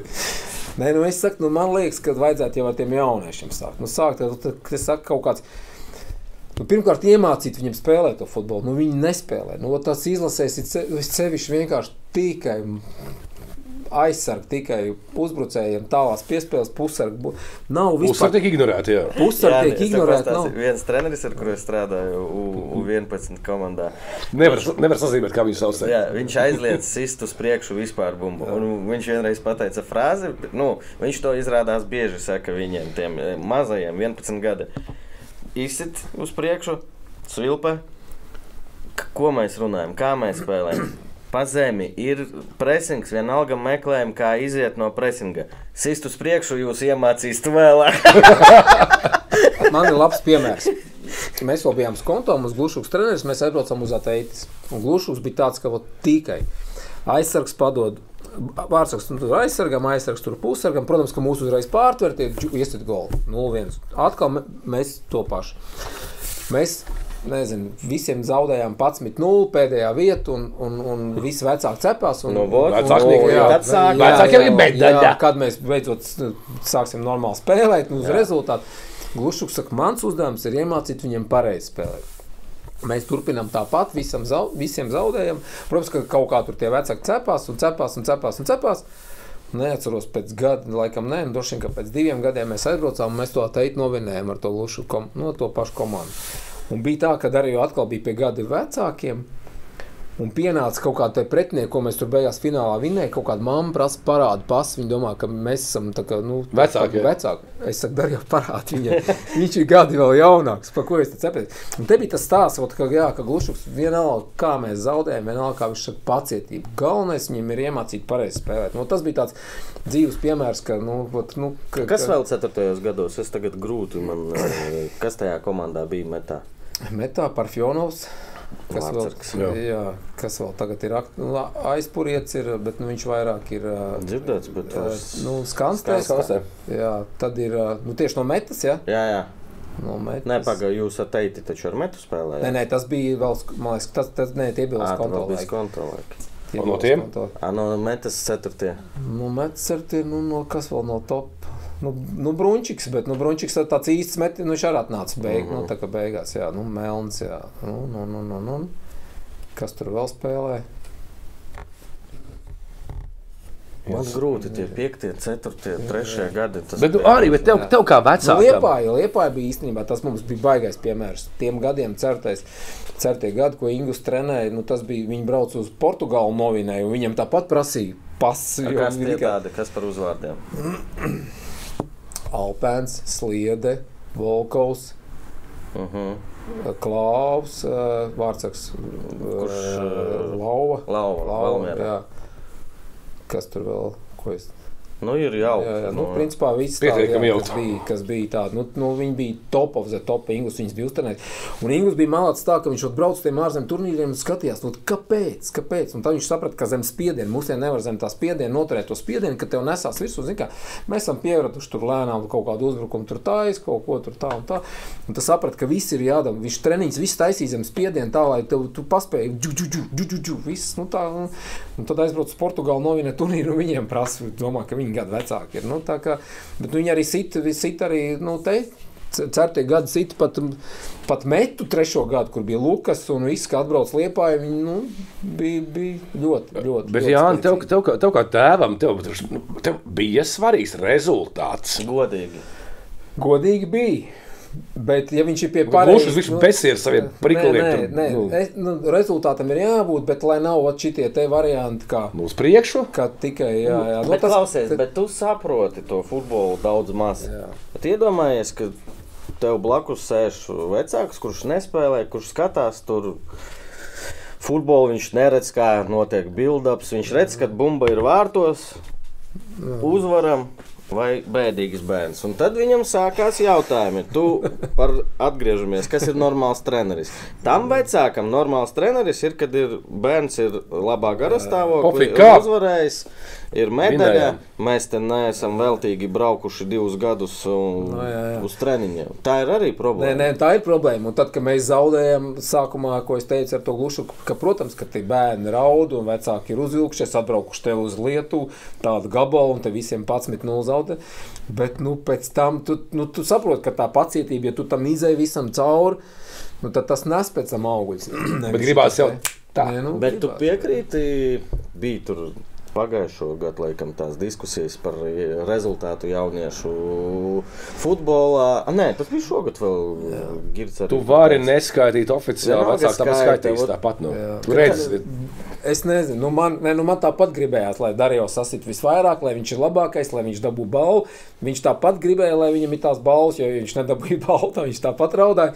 Nu, kaut kādam tam mērķim, nu, nu, kaut kam ir jābūt. Nu, tā, ka tīri tur bakstīties, nu, es nezinu tādu. Nu, protams, līdz kaut kādam vecumam, bet, uh, nu, nezinu, kaut kā. Bet, Nu, es domāju, ka vajag kaut kādu kaut kā to cīņu, bet nu, es saku, nu, tad, nu, tad kaut kādu izdomāt arī, ko tur Ilvars arī teica, nezinu, tur nedrīkst sist pāri centram, vai tur jāizspēlē, vai kaut kāds noteikts tur, nu, nu, bet, bet tā, ka ne, nu, Es tagad, spēlēt. kamēr tikai- mēs runājam, zinu, ko es sapratu. Un atkal Tā nav pirmā reize, kad es saprotu. Viss atkarīgs no cilvēka konkrēta.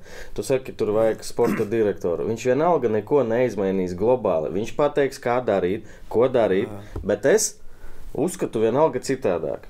Es izdarīšu tā, lai tur dabūtu, nezinu, akreditāciju vai kādu būt, jā. nu, ka es strādāju pēc jūsu, bet ja es uzskatu, ka es gribu rezultātu, jā. treneris, es redzu, ka man, kā jau runājām, aizsargi ir paši vājākie, ja es vārdsargam likšu dot viņam piespēli, jā. būs 11-0, es sitīšu uz priekšu, es dabūšu rezultātu.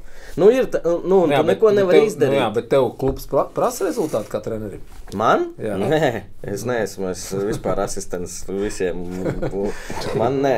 Nu, nē, nu, Bet, bet tiem teviem priekšniekiem Nē, galvenais vispār nē. Mums besīja, kad uzvar viena komanda visu laiku uzvar, un to kausus vairs nav kur likt. atdien. Nu, jā, bet nē, nē, nu, kaut ko vajag. Nu, es, saku, nu, es, nē, nu, es tā nevarētu iedomāties, ka spēlē vienkārši spēlēšanas pēc. Jo nu, mēs nu, nu, darījām spēlē uz rezultātu. Es, es te arī piekrītu. Es vienkārši ir saku, skaidrs, ka uh, vērtība ir cilvēkos individuāli. Ot, kā bija ilūkstē treneris, kad, kurš tur vaņins, tur viss ir, kas bija no ilūkstes. Tur tikai tāpēc, ka bija viens treneris. Mm. Treneris uh, Viegls Miltis, viss tur ir, nu, nekas vairs nav. Un Tas bija vārds uz vārds. Nē, tas nebija vārds uz Ā, žēl.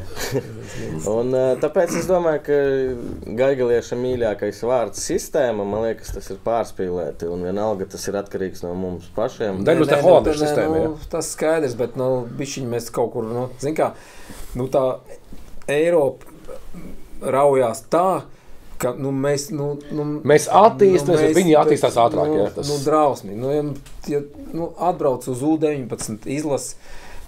Params menedžers paprasa atsūtīt man pēc tam GPS datus. Dar jau pieiet pie menedžera, vai es atsūtīju GPS datus? Nē, mums nav GPS.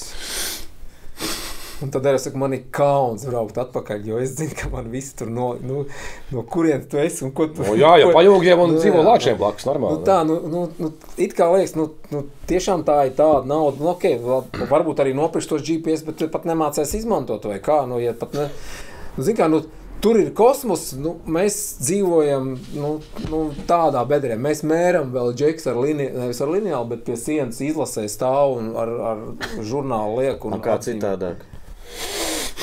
Man citādāk nevērīja. Stācijas tunelī varēja. Stācelē taču vēl ir, man liekas, Pa Ēriku novērīt nosvērtiem. kaut kāds, ka tur ir tādā uz stendera ir atzīmēti tie centimetri. Stācelē. Nacionālā Tā ir bāze. Bāzē vēl joprojām ir mājas, kas stenderi atzīmēti. Nu, vai tiešām ir tik grūti, es nezinu, tos izlases džeks izlaid, nezinu, caur Bet kaut tā, tu zini, kurš ir garākais visu Savu- laiku, garākais Latvijas futbolists. Caur kaut kādu aizbraucu viņi visi noslēdzat līgumu ar kaut kādu Medicīnas centru kādu, Jā, jā. visu tur pareklamējiet, ārstu, ā- pārbaudiet viņus visus. visus nu, tā, Nevis ar nu, tā, nu, tas ir tikai viens no Tas ir viens, viens tā- no piemēriem. Jā, jā, bet tā, nu, tā, nu, tā, nu, tā, tā tas ir. Nu. Esmu dzirdējis tādas teori, nu, teorijas, nu, vienkārši bez sūdzības. Es pat teiktu, tādas, ka uh, mūsdienās gandrīz nu, gandrīz visi, tiešām visi nu, jaunie džeki. Nu, runā latviešu. Arī krievalodīgi, kad ģimenes krievi, viņi runā latviešu. Un saprot visu. Nečilojis. Uh, bet nu, es esmu dzirdējis tādu stāstu, ka bieži vien funkcionāri, nu, dažos klubos, ja, Eh, nu, nelīdz galam treneri nelīdz galam saprot šo misunderstanding komunikācijā. Štāvam gavarīt, jā. Uh, tas, ko te jaunie līdz galam nesaprot, treneri, treneris nesaprot viņus, un viņi kaut kā strādā. Tā kā, nu, un... nu, es nezinu, kā ir citos klubos metā, tā nav. Nē, nu, vai nu, tas ir skaidrs, jā. Simtprocentīgi izlasē tā ir. Nu, es domāju, ka nu, es domāju, bet. Nu, Kurā nacionālajā? Nē, nē, nē nu tajās U19, U21. Es domāju, nu, labi, ka U19 ir Čehs. Nu, labi, bet, bet pārējais personāls. Nu, Es nezinu, Valdis Jansons. nu labi. nu, tā pasauc Un pār-. Un Tagad sauc tālāk. U19? Nu, es, Andris Vaņins.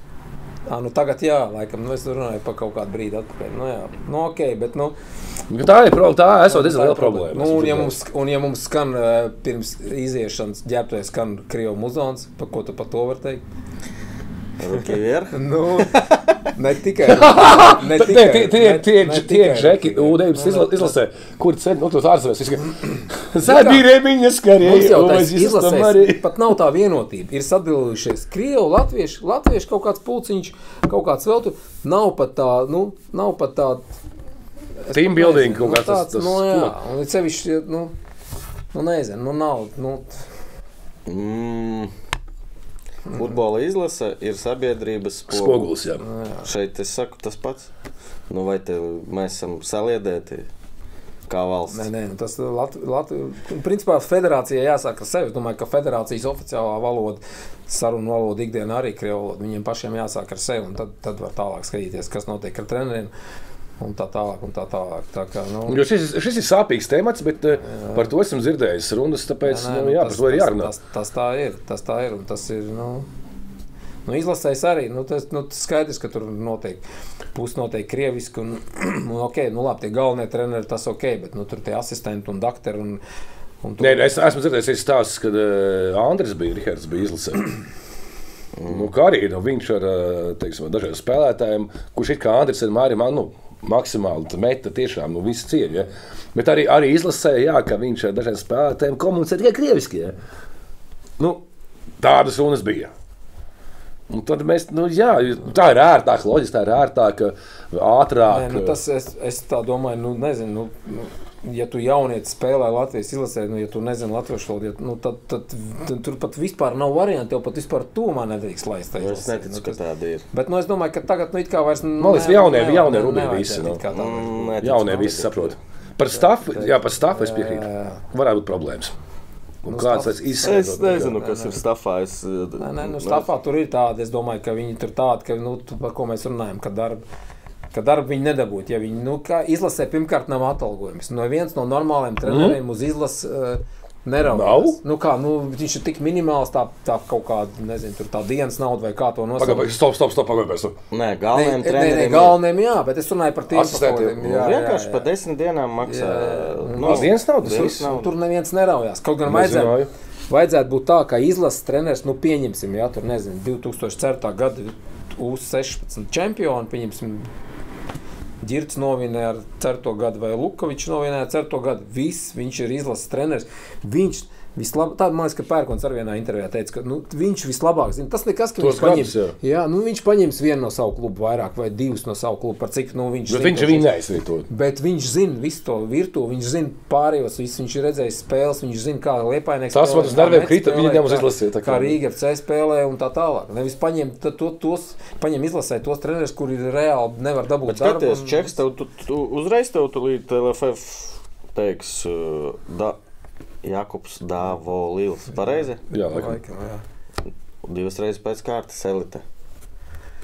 Nu, es nezinu, vai tā elite, vai tā elite nu, gan jau ka ir rādītājs, bet nu, man galvenais, zin kā, Viņi tagad kaut kā bumbojot, tiek līdz tā elitei, un pēc tam tāpat, nu, nu, nu tas nav futbols. Mēs nevien, nevienā izlasē nespēlējam futbolu. Nu, nu, nav, nu, tas pas, paskatās, Kā čatā rakstīja, kāds teica, pa proši izlasi, jaunieši izlases spēlē, ja? kāds mēģina kaut ko iziet no aizsardzības caur piespēli, ja? Cik šo ģilēšu pa proši grāja, ja? Tas, zin kā, nu, mēs, mēs, varam, mēs varam to kaut kādu to rezultātu īstermiņā dabūt. Bet ilgtermiņā tas nestrādā. Mēs varam no tām trīs spēlēm, tur nezinu, vienu uzvarēt, un vienu nospēlēt, neizšķirt, un tā, tā teikt uz elitu. Bet pēc tam nu, no viņiem futbols nesanāks. Nu, Un tik, pie, nu, a, tu tagad. Uh, Es nedomāju, es visu saprotu. Saki, un pat ļoti. 9. Viņš oponē. Es vienkārši, nu, lai būtu Jā, saruna. jā. Uh, U17 galvenais treneris Jurgis Pučinskis. jā, U9. Nē, U19 ir Dāvils. U7. Jā, jā, U7. U- Viņam ir līgums. Jā. Iedomājieties, viņš tur zaudē visiem. Viņa mēģina, kā teica, kā glušs tur pats, bet nu, viņu atlaidīs. Bet viņš jau nemēģina. Viņš jau spēlē. Es saku, Jā. Bet ja viņš mēģinātu, viņš arī- mēģina. A, tā tu cienīgi, 0-1 Nu, piemēram. 0:1 Es neatceros, tikai, nu. kaut kur iesitām. Uh, viņi arī tika elitē. U17, liekas, jā. ne? Moldovu apspēlēja. Nē, nē, Nē, tas ir U- nē, U19. U19. Jā, jā. Jūkvis Nu, jā, bet nu, saproti te- domu. Es sapratu, jā, jā. Tu nevari, šajā pozīcijā tu nevari riskēt. Nu, izlase rezultāts ir svarīgs. Mēs esam vārdu pasaulē. Tieši tā, zārciņā. tādā. nu, es vienkārši varu iedomāties. Nu, sevi treneru vietā.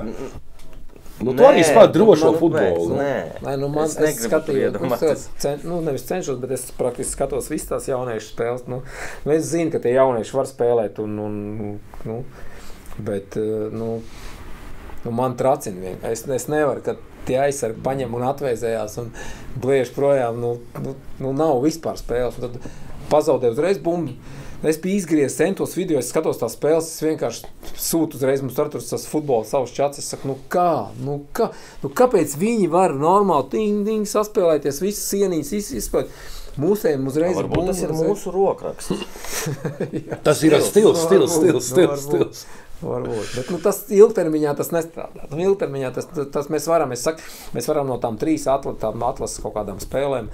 Nospēlēt to nu, arī kaut kādā tāpat lielā izlasē. Mēs varam kaut kā to vienu spēli izvilkt, un, ja sevišķi ja tā ir pēdējā, mums cikls ir izdevies. Bet, eh, Bet redzi, es tagad, bet nu, es tagad atcerējos eh, preses konferenci ar vienam trenerim, un es eh, teicu to piecus, desmit gadus atpakaļ. Latvijā nesaprot futbolu, kā saprot citu vietu. Ir rezultāts, vārti. Jā, forši tur var kaut ko. Nu, mums neaplaudē par labiem izklupieniem, kā tas ir pieņemts, vai tur par kaut kādu divcīņu. Epizodē.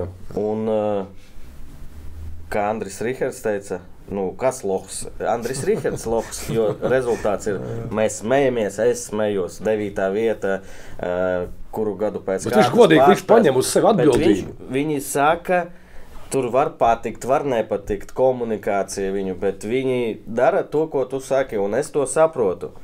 Bet visi smējās, jo citi nesaprot. Viņa audzina spēlētājus. Mēs skatāmies, vienalga, Visās izlasēs viss pamats ir numur viens. Mēs nu, varam smieties, varam teikt, ko gribi. Tagad goli no kurienes tikai- es metā. skatījos pēdējās. Tās U21 pēdējā, pēdējās kaut kādas četrās vai piecās spēlēs tikai metieši sasituši. Uz Itāliju aizbrauc arī no metas, uz Melnis tur izrādās ir bijis. Un, uh, tur notiek, tur ir process, kas notiek. Ir rezultāts. Ir Bet rezultāts. problēma, kur ka šito nesaprot un neuztver, to nenovērtē. Un, uh, tāpēc es saku, ka uh, sabiedrībā, kur šito nesaprot, kur ir. Ja būtu tādi Jāņi vai Jūrija, kas ot, to spiedienu, ka nu, tā nevar spēlēt U17, mums nav. Mums galvenais ir rezultāts. Es saku, mums kopumā. Nu, jā, jā, jā. Tu saproti, un tā ir problēma. A, Kā ar to cīnīties, man nav atbildes. Jā, Jā. jā. Un tas viss sākās ar to, ko tu, mēs sākām par jauniešiem, par vecākiem.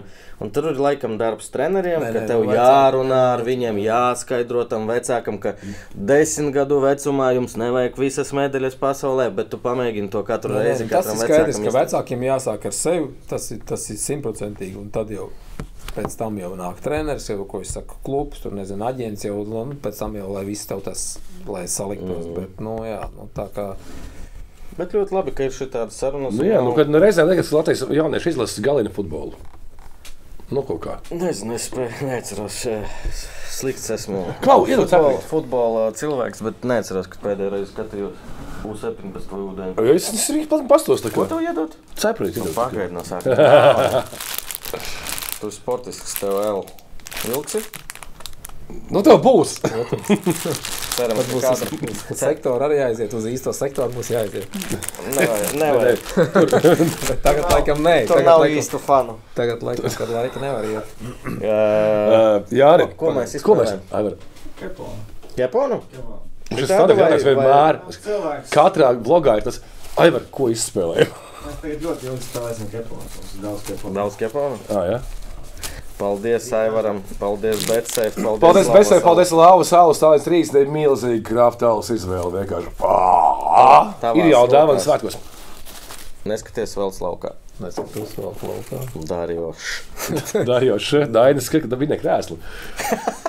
Valdis K. Valdis Kalns. Ah, Valds Kalns! Suits! Jūt, jūt, kuldīgi! Kurmā. Nu tur pat. No redzēja, Valdi, tie kurzemnieki jūt tevi, jā. Nezinu. Nezinu. Bet no Valda tev veicās. Valdim veicās. Dāvanas. Nu, dāvana laiks, draugi, mīļais, dāvana laiks. Nu, stāstīja, onkul. Nu, ko, ko tu mums atnesi savu vecīti? A, kas tagad būs? Tas smuks maisiņš tāds Parma, Lidl, krāsās. Parmas sponsors. maisiņš. Labi, sākam. Bet smuks Pagaid, krāsas. Mēs jums parādām. Kāpēc. Jurijam patīk? Tas ir Vēstures krāsas. krāsas. Es jau tikko Ej, tu! Siltais džemperīts. Šito es sev ņemu. Nice! Paldies, Jāni. Nu, nē, nē, visu izspēlēs. Izmērs kāds. Nav nozīme, tā ir trofeja, tā ir trofeja. L. Nice. Jā, Rādi visu, un tad mēs Ah, izdomāsim o, ar tu- Kristiānu, vai mēs o, tu vienam cilvēkam. Oh! Kaut gan Darīja tagad spēlēs, komandā, Jā, jā. bet šitas, nu, viņš piedara tāpat parmai. Piedara Pašam Ok. palika vēl? tāpat. Palika, palika. Wow, Darījā! Sits! Cits. Da, Izvēlēties. Kāpēc 84? Nē, tas bija vienkārši. uh, Tur ra- neviens random. neprasīja, Tur, ja? Jā, jā. Pazēr, bet tas ir muktas līnijas, zi? Nu, mm. gofrēts. Wow. Aivaram nerādi tikai. Nerāda. Šito, šito neizlauzējam. Tas jums no Darīja māsas zīmējums. O, bet-. Wow! Tas ir mīļi. Jā, bet šitas ir. Man kolekcija veidojas Kas lēnām. tur? uh, Tas ir bārs, jā? Tas Tur ir tā, ir tā bārs. lielā pu, tās ir pudeles. Jā. Viņi arī skatās. Es viņai parādīju bildi, ka šos čaļus vajag uzzīmēt, ko es pēc viņiem iešu. Viņi man saka, bet obligāti piemini mani arī. Es saku, Ļoti labi. Letija. Letija. Letī, paldies! Šis zīmē. Ak, Dievs, šis ir vēl tik jauki. Ir Viņš apraudājās pirmklasniece, pilnīgi. Jā, jā. Hello! Bet uh, neskaties bez tēta raidījuma. Jā, te- es mīlu. Muzejā Ļoti, ļoti spoži. Šito mēs ne. Jā. Tad uh, Jānis piedāvāja divreiz Es lozēt. domāju, ka divreiz. Es divreiz, nu, jā, divreiz. Davai pirmo, tad nē, šito Nē, pirmo- pirmo. Wow! Fo, forši. Bet viņam forša. Es šito tiešām sev gribētu krosu skriet. Vajag būt mūsu Patreonam. Krosu skriet. Ja tu būtu mūsu Patreons, tad būtu iespēja to iz- izlozēt. Bet, diemžēl, tu neesi mūsu Patreons. Vai tavās rokās? Valdis Kalns. Nu, labi. Nezinu, vai viņš ir iekšā tur vai nav. No apakšas kaut kāds. Ar kādu kuldīdznieku izvilks. 100 punktu reimans, piemēram. Viens. Nē, šito. Sorry. Šis nepatīk. Piedod. Piedod. Dragu! Dragu. Daugopils? Nu, es- Nē, Drago. Tas tas. Super, super, super. Dragu. Drago, vecīt. Sas, tu jau zini, sasniedz mums un pārējais. Bet, lūdzu, pārva kalcijo. Ieliec un atzīmē Dario šito. Jā, ietego Dario. Nu, šito tiešām šis ir vērtīgs. Ja es būtu kolekcionārs, es paņemtu uz sevi un neizlozētu. Ar... Jā, bet kā mēs esam to pārvest maisiņu līdzi? Pagaidām, mūsdienās daudz vēl spēlē ar kā tas saucās? Apaklīt. Apaklīt. Džentlmeņi. Ir? Dot, lai vēl. Uh, Diemžēl, šito. Diemžēl šito, nu, kas tur ir? kas tur ir? Kurš, nu, kurš tad būs? no kurš būs? Kurš Dario? Kalčo. Pārvest krēkla uz laimēs. Tas ir Viesturs L. Viesturēl? Wow! Kas jauns, laikam, Kas paldies, jauns? Viestur, tu tādu mēs neesam. Viesturēl šādā ir klusa gan jau. Čatsā klus. Uh, Viesturēl, Lieciet, sazināties ka- ar vieniem vaivars ar tevi. sazin- Nu, ejam uz kontaktu. Un, uh, kad devam krēklu, nofočēt to varbūt pat sev virsū, ja tev derēs. Un iet ko Būs Instagramā. patīkami. Jep, vai ne? Klausies, nu forši. Un man ir pēd, man liekas, pēdējais, mēs jau daudz mūdam. Man pēdējais par komunām runājot. Ir kaut kāds, es nezinu, metas fāteri, futeni spēlēja kādreiz. Jā. Un, eh, kāda ir tā, tā, tā komūna, kas tiem futbolistu vecākiem, principā, nu, bieži vien tie bērni, jaunieši, eh, viņi spēlē vienā komandā entos gadus. Nu, tu jau arī, nu, tu tie vecāki iet uz tre- treniņiem. tā Kā, nu, kaut kāds savs tusiņš tas veidojās, ne? Nu, tusiņš ir nenormāls, nenormāls tusiņš, bet viņš izjūta kaut kādos nu, 15, 16 gados, tad, kad kaut kā tie vecāki saprot, ka tas nu, bērns īsti vairs nevelk, un tad, kad jau pievēršās vairāk mācībām, un tad, tā, kad sāk jau, nu, jā, nu, principā mums bija, nu, mums bija ļoti, ļoti labs. Mēs vecāki turējām, ja mēs braucām, nu, tā kā top of the top, mēs bija spēles, kur mēs visu spēli, tā kā, tā kā mets arī tie līdzjūtēji, tā kā jūs, PPK, Jā.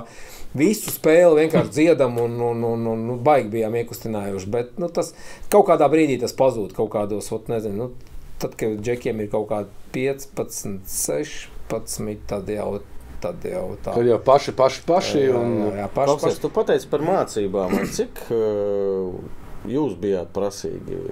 sports un mācības. Jā. Jā.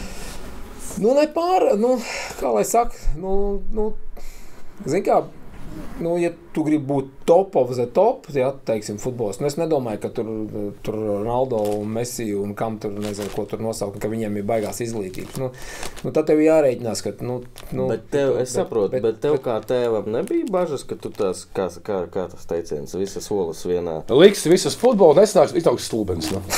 nu, Nē, nu, nu, Nu, jā, nē, nu, gan, gan, gan, gan, bet, nu, nē, nē, tā kā, nu, arī jau, jau mācās un viss ir kārtībā un attālināt, attālināt un, nu, tas ir labi fiška, to tālmācību. ko- jā, tālmācība, tā kā var viss ir ok. pabeigt. Gan, gan problēmas bija ar eksāmeniem, problēmas bija ar eksāmeniem, tagad bija kā pagarināja visu to pasākumu, jo izglītības ministrija saka to, federācija saka to, un beigās ir tā, ka tev iekrīt tajā brīdī, kad ir eksāmeni, tev ir parma tik playoffs, tu netiec uz, uz eksāmeniem, tāpēc ka parma ir playoffs. Jā. Tev uh, atbrīvojums der tikai, ja tu spēlē nacionālā izlasē, tad tu atbrauc, tad tevi izsauc uz izlasi un uz U21, un tad tev atkal nedara. Beigās tu pats vien esi vainīgs, ka tu, nu, ka tu nenoliec. Kad tu spēlē futbolu. Kad tu spēlē Vai jebkurš futbolu, sports, jā, vai jā. basketbolu, vai hoķi. Tad tu uzraksti izglītības ministrijai, un viņi tev pat neatbild. Vienkārši pazvan Darīju un pasaka, "Ew, klausies, tev tomēr jāliek. Pat oficiāli neatbild ne ar kādu vēstuli, ne ar ko. Nu, tā kā, nu, tas arī tur tāds sāpīgs jautājums. Jo Darīju tieši trāpījās tā, ka visu laiku bija vai nu playoffs, vai nu izlases. Vai nu bija jābrauc atpakaļ jau tur, it kā varēja to eksāmenu pār, pārlikt, bet bija jau jābrauc atkal jau uz nākamo sezonu. Un tad sanāca tā, ka Nu, principā sanāk tā, ka atšķirībā no sevis vienalga ir sportisti, nu, tiešām basketbols, hokeisti, visi, kas, nu, jaunieši, kas moši atceras profi, kā profiņi, un tajā vecumā viņi vienkārši pieaug dažus gadus ātrāk. Un kamēr viens Es, tādu jā, nu atkal es saku, Kamēr viens ar tā puisi un tam līdzīgi, nu, runā, nu, jā. man tā arī bija. Jā.